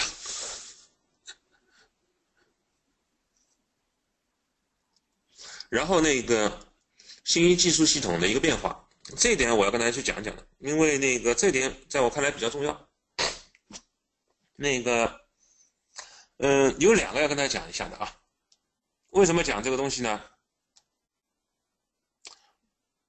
嗯，你在讲啊，你们讲到 PPDS 和 SMP，那么 SMP 在国内有有另外一个软件啊，他们在国内推的也挺多的，那个做 SMP 的。那当然，那个 S M P 要看做什么了。你比方说，你做一些那个呃呃消费品啊等等啊，做 S M P 还是比较多的，做 P P D S 反而比较少。A P O 做 P S，也有吧，就是。你比方说当初那个给那个呃上汽通用做的时候，他们 A P A P O 做的是那个 P D S 内容，是这样的。然后在这当中的话，你看一下啊，那个我这边呢画了一个图。这个图呢，是画了一个立体的五层模型，为什么呢？就是说要跟大家说一下，因为如果大家是学那个信息系统管理的话，原来有一个那个五层模型，那个五层模型是个平面的。那平面的五层模型呢，原来那底下嘛就是工控，呃，上面呃不不对不起，呃底下是那个人机接口，上面是工控，然后在上面是那个 MES，在上面是管理系统。在上面是决策支持系统 BI 这些东西。那么这五层模型在做的时候啊，因为我我经历了很长时间的信息化过程，呃，那个那个推推广的过程，碰到这样问题。那么在做的过程当中的话呢，国内在两零零二年以后有一轮比较大的 ERP 推广啊，主要是因为那个，主要是因为那个叫什么，就是上市，上市到零七年的时候，国有资产证券化。那个时候是很多很多的钱投在 ERP 上面，这 ERP 系统上完之后啊，很多工业制造企业啊，最后都是，就是说因为上市嘛，那当然要证明公司有一个比较好的公司治理体制，所以说你的采购，对吧？发票、应收应付、财务这边啊要看紧。但生产那边的话呢，因为它是个内部的回乡的一个内容，更何有那么多人都做的不怎么样。那么有些企业的话呢，他们就开始考虑，哎，一期做的不怎么样，那我们就把这个设为一个二期的改进目标吧，就这样去做。做的时候呢，他突然间发现有问题，什么问题呢？因为这 APS 啊，它有计划有排程是吧？计划是个管理功能，是在第四层 MES M 呃 MIS 上面，而排程呢，它是一个执行过程。那么系统的话在 MES 上面，而且它进行分析之后啊，在在这两边都有。所以说的话呢，我曾经在。碰到过一个客户，他们在自己写模型图的，他自己写了一个叫三点五层 APS。那么后来我就跟他讲了，我说你没有必要这样去想，啊因为你原来想的是什么呢？一个事务管理系统，那个五层那个五层模型还是个事务管理系统模型，那个我们八十年代念大学的时候看的东西，对吧？那个现在讲 SOA，它是个立体的，对吧？每一个功能层面里边有不同的部门，互相之间提供 service，那不就是在三层和四层当中？有一个 planning service，有个 scheduling service 提供给其他的部门吗？那如果你把它看成立体的，就没这个问题了。那么这一点的话呢，呃，因为 APS 的那个推广就是这个样子，所以说呢，我还是提醒大家注意一点，不要再去犯这个错误了。那现在的话呢，就是说外围的那个环境有一个非常非常大的一个变化，对吧？大家举个很简单的例子，比方说流通业的话，那个呃，现在在互联网加这个这个潮流下面的话。有很大的一个变化，一个是电商，一个互联网加，对吧？还有一个那个那个 mobility 等等。那么在流通业当中的话呢，他们产生了很多不同的一个变化。第一的话呢，比方说那个呃，在三四年前吧，更多的企业来谈那个多渠道营销 omnichannel。那 omnichannel 的话呢，实际上它跟那个模型本身没什么关系，它就是增加了信息点。而且很多公司做 omnichannel 第一件事情就是统一库存，所以说呢，跟计划关系说句老实话并不大。那么另外一块就比较有关系了。现在很多那个电商企业都利用自己的那个那个呃蓄水池能力啊等等啊，为他服务的企业提供相应的需求管理，对吧？你的货在我这边去。我怎么样卖给那个最终消费者？你的或者像那个那个那个京东，它是自建物流的，或者像那个那个那个那个那个叫什么菜鸟，它是提供那个物流服务的，他们都有提供这部分的一个类似于预测不像预测，但是它有一个需求计划给你。这最近有这样的一个企业会产生这样，这对将来的 APS 应用也是有相应的一个一个影响。那么这意味着什么呢？这部分一部分的这个计划当中的服务产生了，计划当中服务产生了，包括我服务过的几家企业，他们也在考虑怎么把这个 APS 的一个应用啊变成一个服务来进行处理。呃，这个事情有可能啊。另外一个呢，就是在制造领域里边，对吧？那么工业互联网和那个人机接口它产生了，那么在这个过程当中产生之后的话呢，实际上。它也会引起一个很大的一个变化，很大的一个变化，很大的变化是是什么东西呢？跟大家讲一下。那么首先的话呢，就是这样系统的构建，它会有一个变化，它会有一个变化。大家会看一下啊，这是这几年来这个行业里的一些变化。你比方说，我列了几个几个厂牌，比方说 Preactor，它是一个。反正欧洲的我记不清到底是英国还是法国的了。Project，他们现在是西门子的当中一个成员，他们为西门子提供这个统一数数据制造平台当中提供那个计划方面的一个一个支持，它是属于西门子的。当然，他们在这边也有人 是这样一个情况。Honeywell 这两天不是在 offer 给 JDA，他要把它买下来，不知道那个生意谈怎么样，已经有两个多月了，八月份的时候提出来的。然后呢，达索，达索在那个呃，两零一四年的时候收购了昆迪克，那么在今年的五月份的时候呢，收购了法国另一家公司叫 Autonomous。那个 Autonomous 呢，它和昆迪克有一些不一样。Autonomous 呢，它最大的一个差别，它就是已经是呃在某一个领域里面提供了一个云服务的概念，它的那个模型是可以当云服务来卖的，这个这当中是一个差别。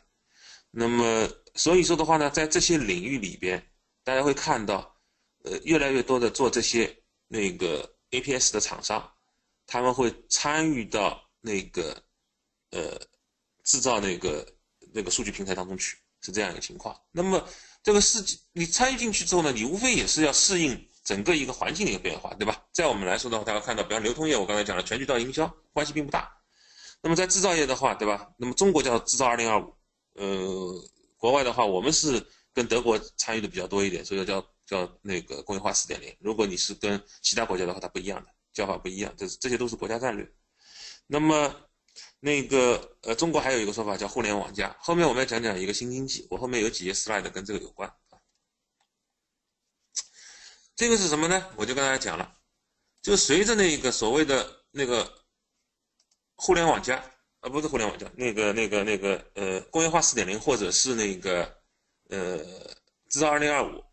那么很多这样的平台厂商，他提供那个数据的那个应用的平台，可能会对你在那个工厂里的 APS 的将来的 IT 架构有一个很大的一个影响，有一个很大的影响。大家看这张图，这张图的话呢是。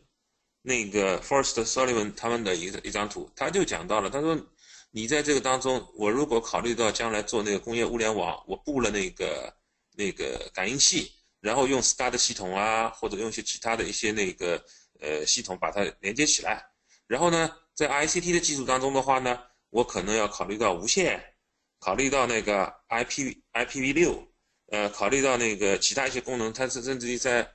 在这边那个 quality testing 这个领域里边，把那个增呃增强现实 augmented reality 也放进来了，云技术，对吧？那么他说的这一些的话呢，他说将来这个企业，对吧？你的企业就像我刚才说的一样，你企业原来是一个财务上的资产负债的一个实体，考虑自己的，但在运作上面的话，你会在横向纵向。无论是在供应供应链上面，或者供应链网络上面，你要去跟别人做一个很大的一个程度上有衔接，你的企业数据会更多的向云等等这种去发展。那云有两个概念，一个是公共性，一个是那个服务化。那么这个事情大家一直都是不是太那个，但是我可以给大家举一个例子，汽车是相对来说比较成熟的利用私有云的例子，对吧？汽车是由那个总装厂提供私有云服务，后面的人在这个环节下面来进行信息共享的，是这样的一个概念，大家注意的。那么在这当中的话呢，讲的将来都是所谓什么，都是一些应用服务了，对吧？上面有 individual 那 workflow in 的那个 plant floor，就是在那个工厂车间里的那个呃个体的那个工作流程，对吧？然后有那个 quality of shipment condition 那个质检的发运，对吧？product Product location 放在什么地方，然后相应的一些测试啊等等这方面的内容，大家会看到，就是说随着这个技术的变化呢，它对系统会有一个不一样，会产生一个不一样。什么样的不一样呢？我就跟大家说一下，就是首先啊，因为你工业互联网引入的话呢，你要求所有的供求角色之间的话，相对来说越来越进行平等。因为这一点的话呢，实际上无论是使用者和那个提供者的话，他都愿意。因为你想啊，如果哪怕是汽车的私有云，那总装厂是说了算的，对不对？那如果我们双方的业务关系能够是平等的话，当然从业务角度、生意角度来说是好事情。技术上有没有可能呢？它有立体的那个应用组件的一个交流，对吧？它需要什么东西啊？它需要跟感应器去做衔接，对不对？那么它在 IT 的架构上面什么呢？不就是要做一个 SOA 的架构吗？SOA 架构在 IT 应用架构上面是很成熟的东西。现在的麻烦是在私有云和公有云，因为这在法规上，呃，并没有相应的一个一个配套。问题是在这，这是为什么才有私有云？私有云就是由那个总装厂来做这个规则制定者，就是这样的一个情况。那么他做的所有的这些内容是什么东西呢？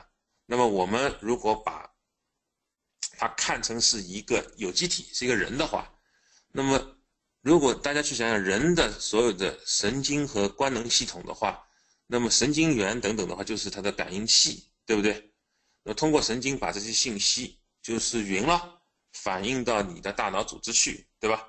这实际上是什么呢？就是我这边借用了一个那个国外的一个说法，就是说巴比伦的吞天塔。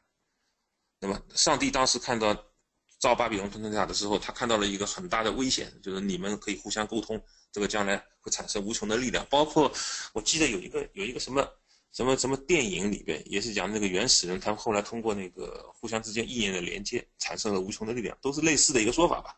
实际上是一个类似的说法。那么在这个当中的话呢？它会对我们系统有什么影响？第一个就是 MES 系统将来它会以一个什么样的方式存在？大家做了那么多 MES 系统了，MES 系统将来会以什么方式存在？因为什么呢？你现在不就是少一个在那个营运层面做决定的嘛？APS 系 MES 系统做了那么多，除了一些跟特定流程有关的很多的 MES 系统，它就是一个状态记录，它没有什么其他东西的，做做一些那个统计报表，决定还是有人做的。如果你决定要去。引入那个 APS 的话呢，那么我把 APS 看成是大脑组织机构当中的脑干的部分，它能够对一些就是营运上的一些持续性的有规则的东西，定期的做一个相应的反馈。它不是一个真正意义上大脑，那个公司的大脑是那些老板，是那么回事儿。那第二点呢，M 系统如果去解构的话，它无非就是做一个决定，APS 要做的事情，通过那个各种各样的手段做数据的采集状态。第三呢，那个做一个相应的一个报告，那报告嘛，现在已经有那个 BI 系统了，所以说的话呢，那么将来的话，MBA 系统会朝哪个方向去的话，那可能将来也是要去做一个相应的一个转换。但是的话呢，不管怎么样，就是说利用一些数学方法，引入一些算法进行这个那个优化计算是用得上的。另外还有一点我没有写在这儿，但我可以跟大家讲一下，就是如果你的布点越布越密的话。那你这个模型的复杂程度是会降低的，这一点是肯定的，好吧？这个跟大家说一下。那么所有做的这些东西的话呢，实际上对我们这些从业者来说也是有变化的。那么我们这些从业者可能就是说，更多的会从技术的角度转到什么？转到跟服务有关的东西。那么这样想了，就是说，IT 它会从一个做系统的，从信息技术转到了什么？营运变革。那么你无非就是这样一个目的，对吧？你能够减少成本、提升效率、更好的保障创新服务，或者创增加更新的收入来源。那么这个的话呢，我就跟大家去讲一讲。实际上呢，做这个 IT 的人员在近二十年里边一直在做这样的努力，对吧？今天大家谈到的是云，那么在二十年前大家谈 hosting，为什么东西呢？都是说要把一个软件作为项目采购，然后把它费用化，目的就是这个。就是说，我们曾经在当年的时候啊，我在做 ERP 顾问的时候，收了大家不少的钱。那么现在我们也一直在做这方面的那个呃那个努力，把这种就是说营运的模式，把它变成一个费用化。那么这个呢，在今天的话，是等一下会跟大家讲到是有更大的意义的。那么另外还有一点就是说，我想讲完这个之后的话呢，我还是鼓励大家有机会去用这个系统的。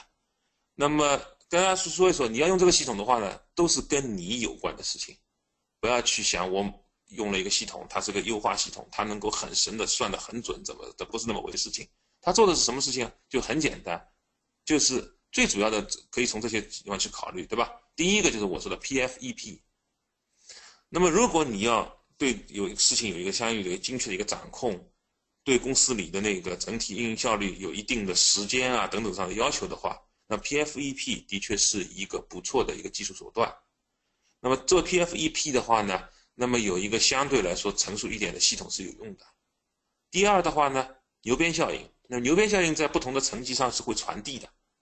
那么所以说的话呢，如果有一个系统，它可以提升你做计划的周期，呃，对，呃，那个频率，提升那个频率。那么实际上呢，在我刚才说的自信区间上面。可以对将来的那个牛鞭效应的产生的负面影响进行降低，降低，对吧？因为它第一级可能牛鞭效应不大，传递出去再传递出去再传传到后来的话就越来越大了。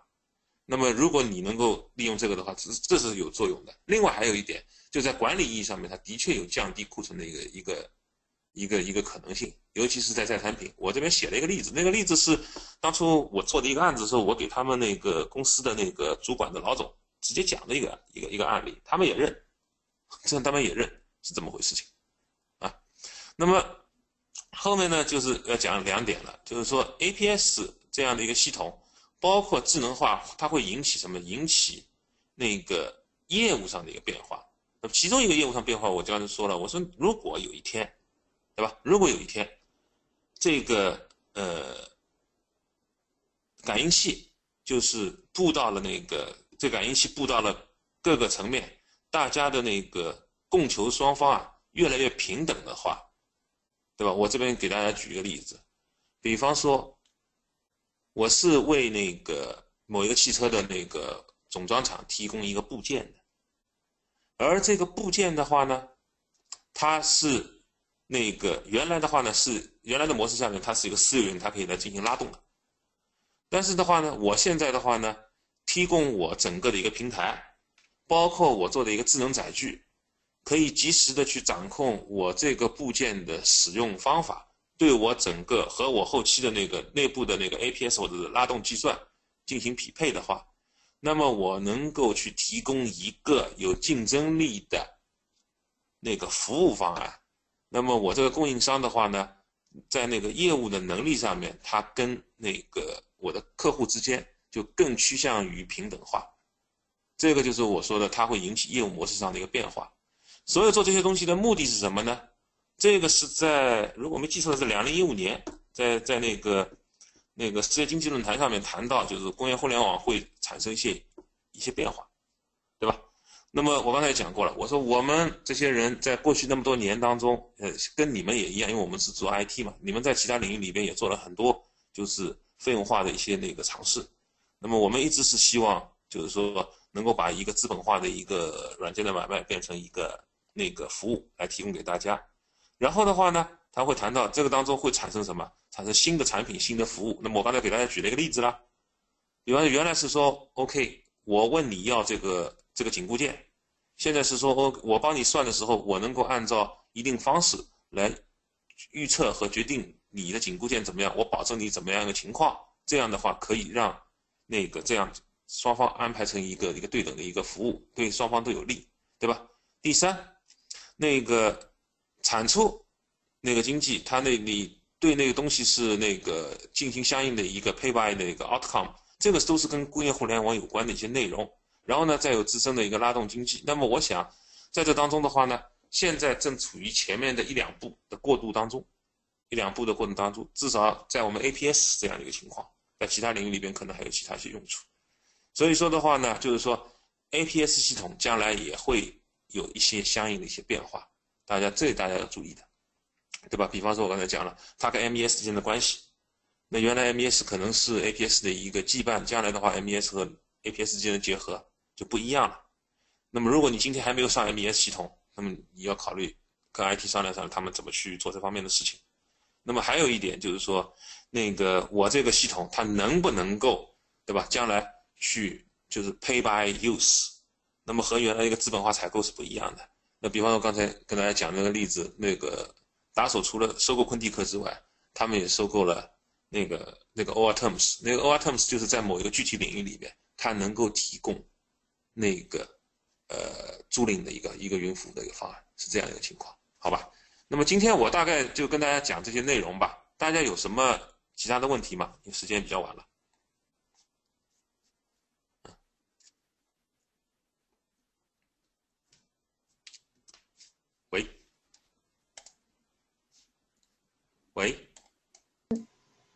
大家如果有问题的话，现在可以呃。在那个文字消息框里面提出。厂商的事情我便多评论，因为有的时候他们，呃，也是竞争对手吧。那你说的那一家，他们在国内也做了一段时间，就在上海，如果没记错的话，嗯，那个那个价格上是有一定的竞争性的。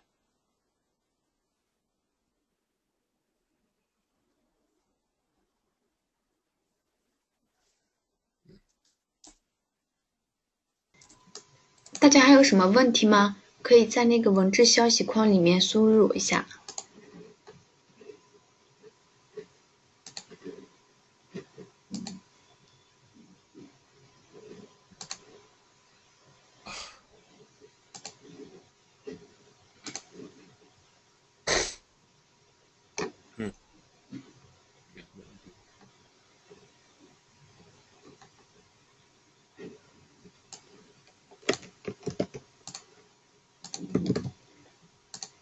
如果没有的话，如果没有的话，那我们今天哦还有，老师让我看看 APS 的及需求订单排成 ATP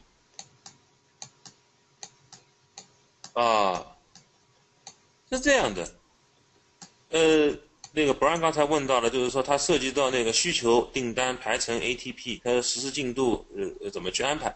呃，实际上主要是那个实施项目实施啊，是看那个我个人建议啊，这个这个各家各不相同的，有人叫你全做，我个人建议就是看你，因为你涉及到这个项目的话，是考虑到你公公司的那个人力的那个成本成本，所以说的话呢，呃，需求一般是会有一个独立的一个需求管控的一个部门，那么订单排程和 ATP 这些内容的话呢，它一般这个结果。呃，是由一个部门来提供，当然它协调的过程各不相同，所以说的话呢，如果你们考虑到人员，还有考虑到那个项目管理人员或者 IT 支持、技术支持人员他们的一个那个的话呢，你们可以把这两边分开做，但是没有什么先后，我也不认为先做需求有什么好，那么完全是看你当时那个公司里那个情况。如果公司里的那个情况，那个销售部门天天说，呃，我们得到信息比较少，怎么怎么，那你可能先做需求，啊，如果是说那个你的确是供应链部门和那个呃工厂之间的那个协调和物流之间的协调的话，那你就先做后一个部分，那这个这个是各不相同，好吗？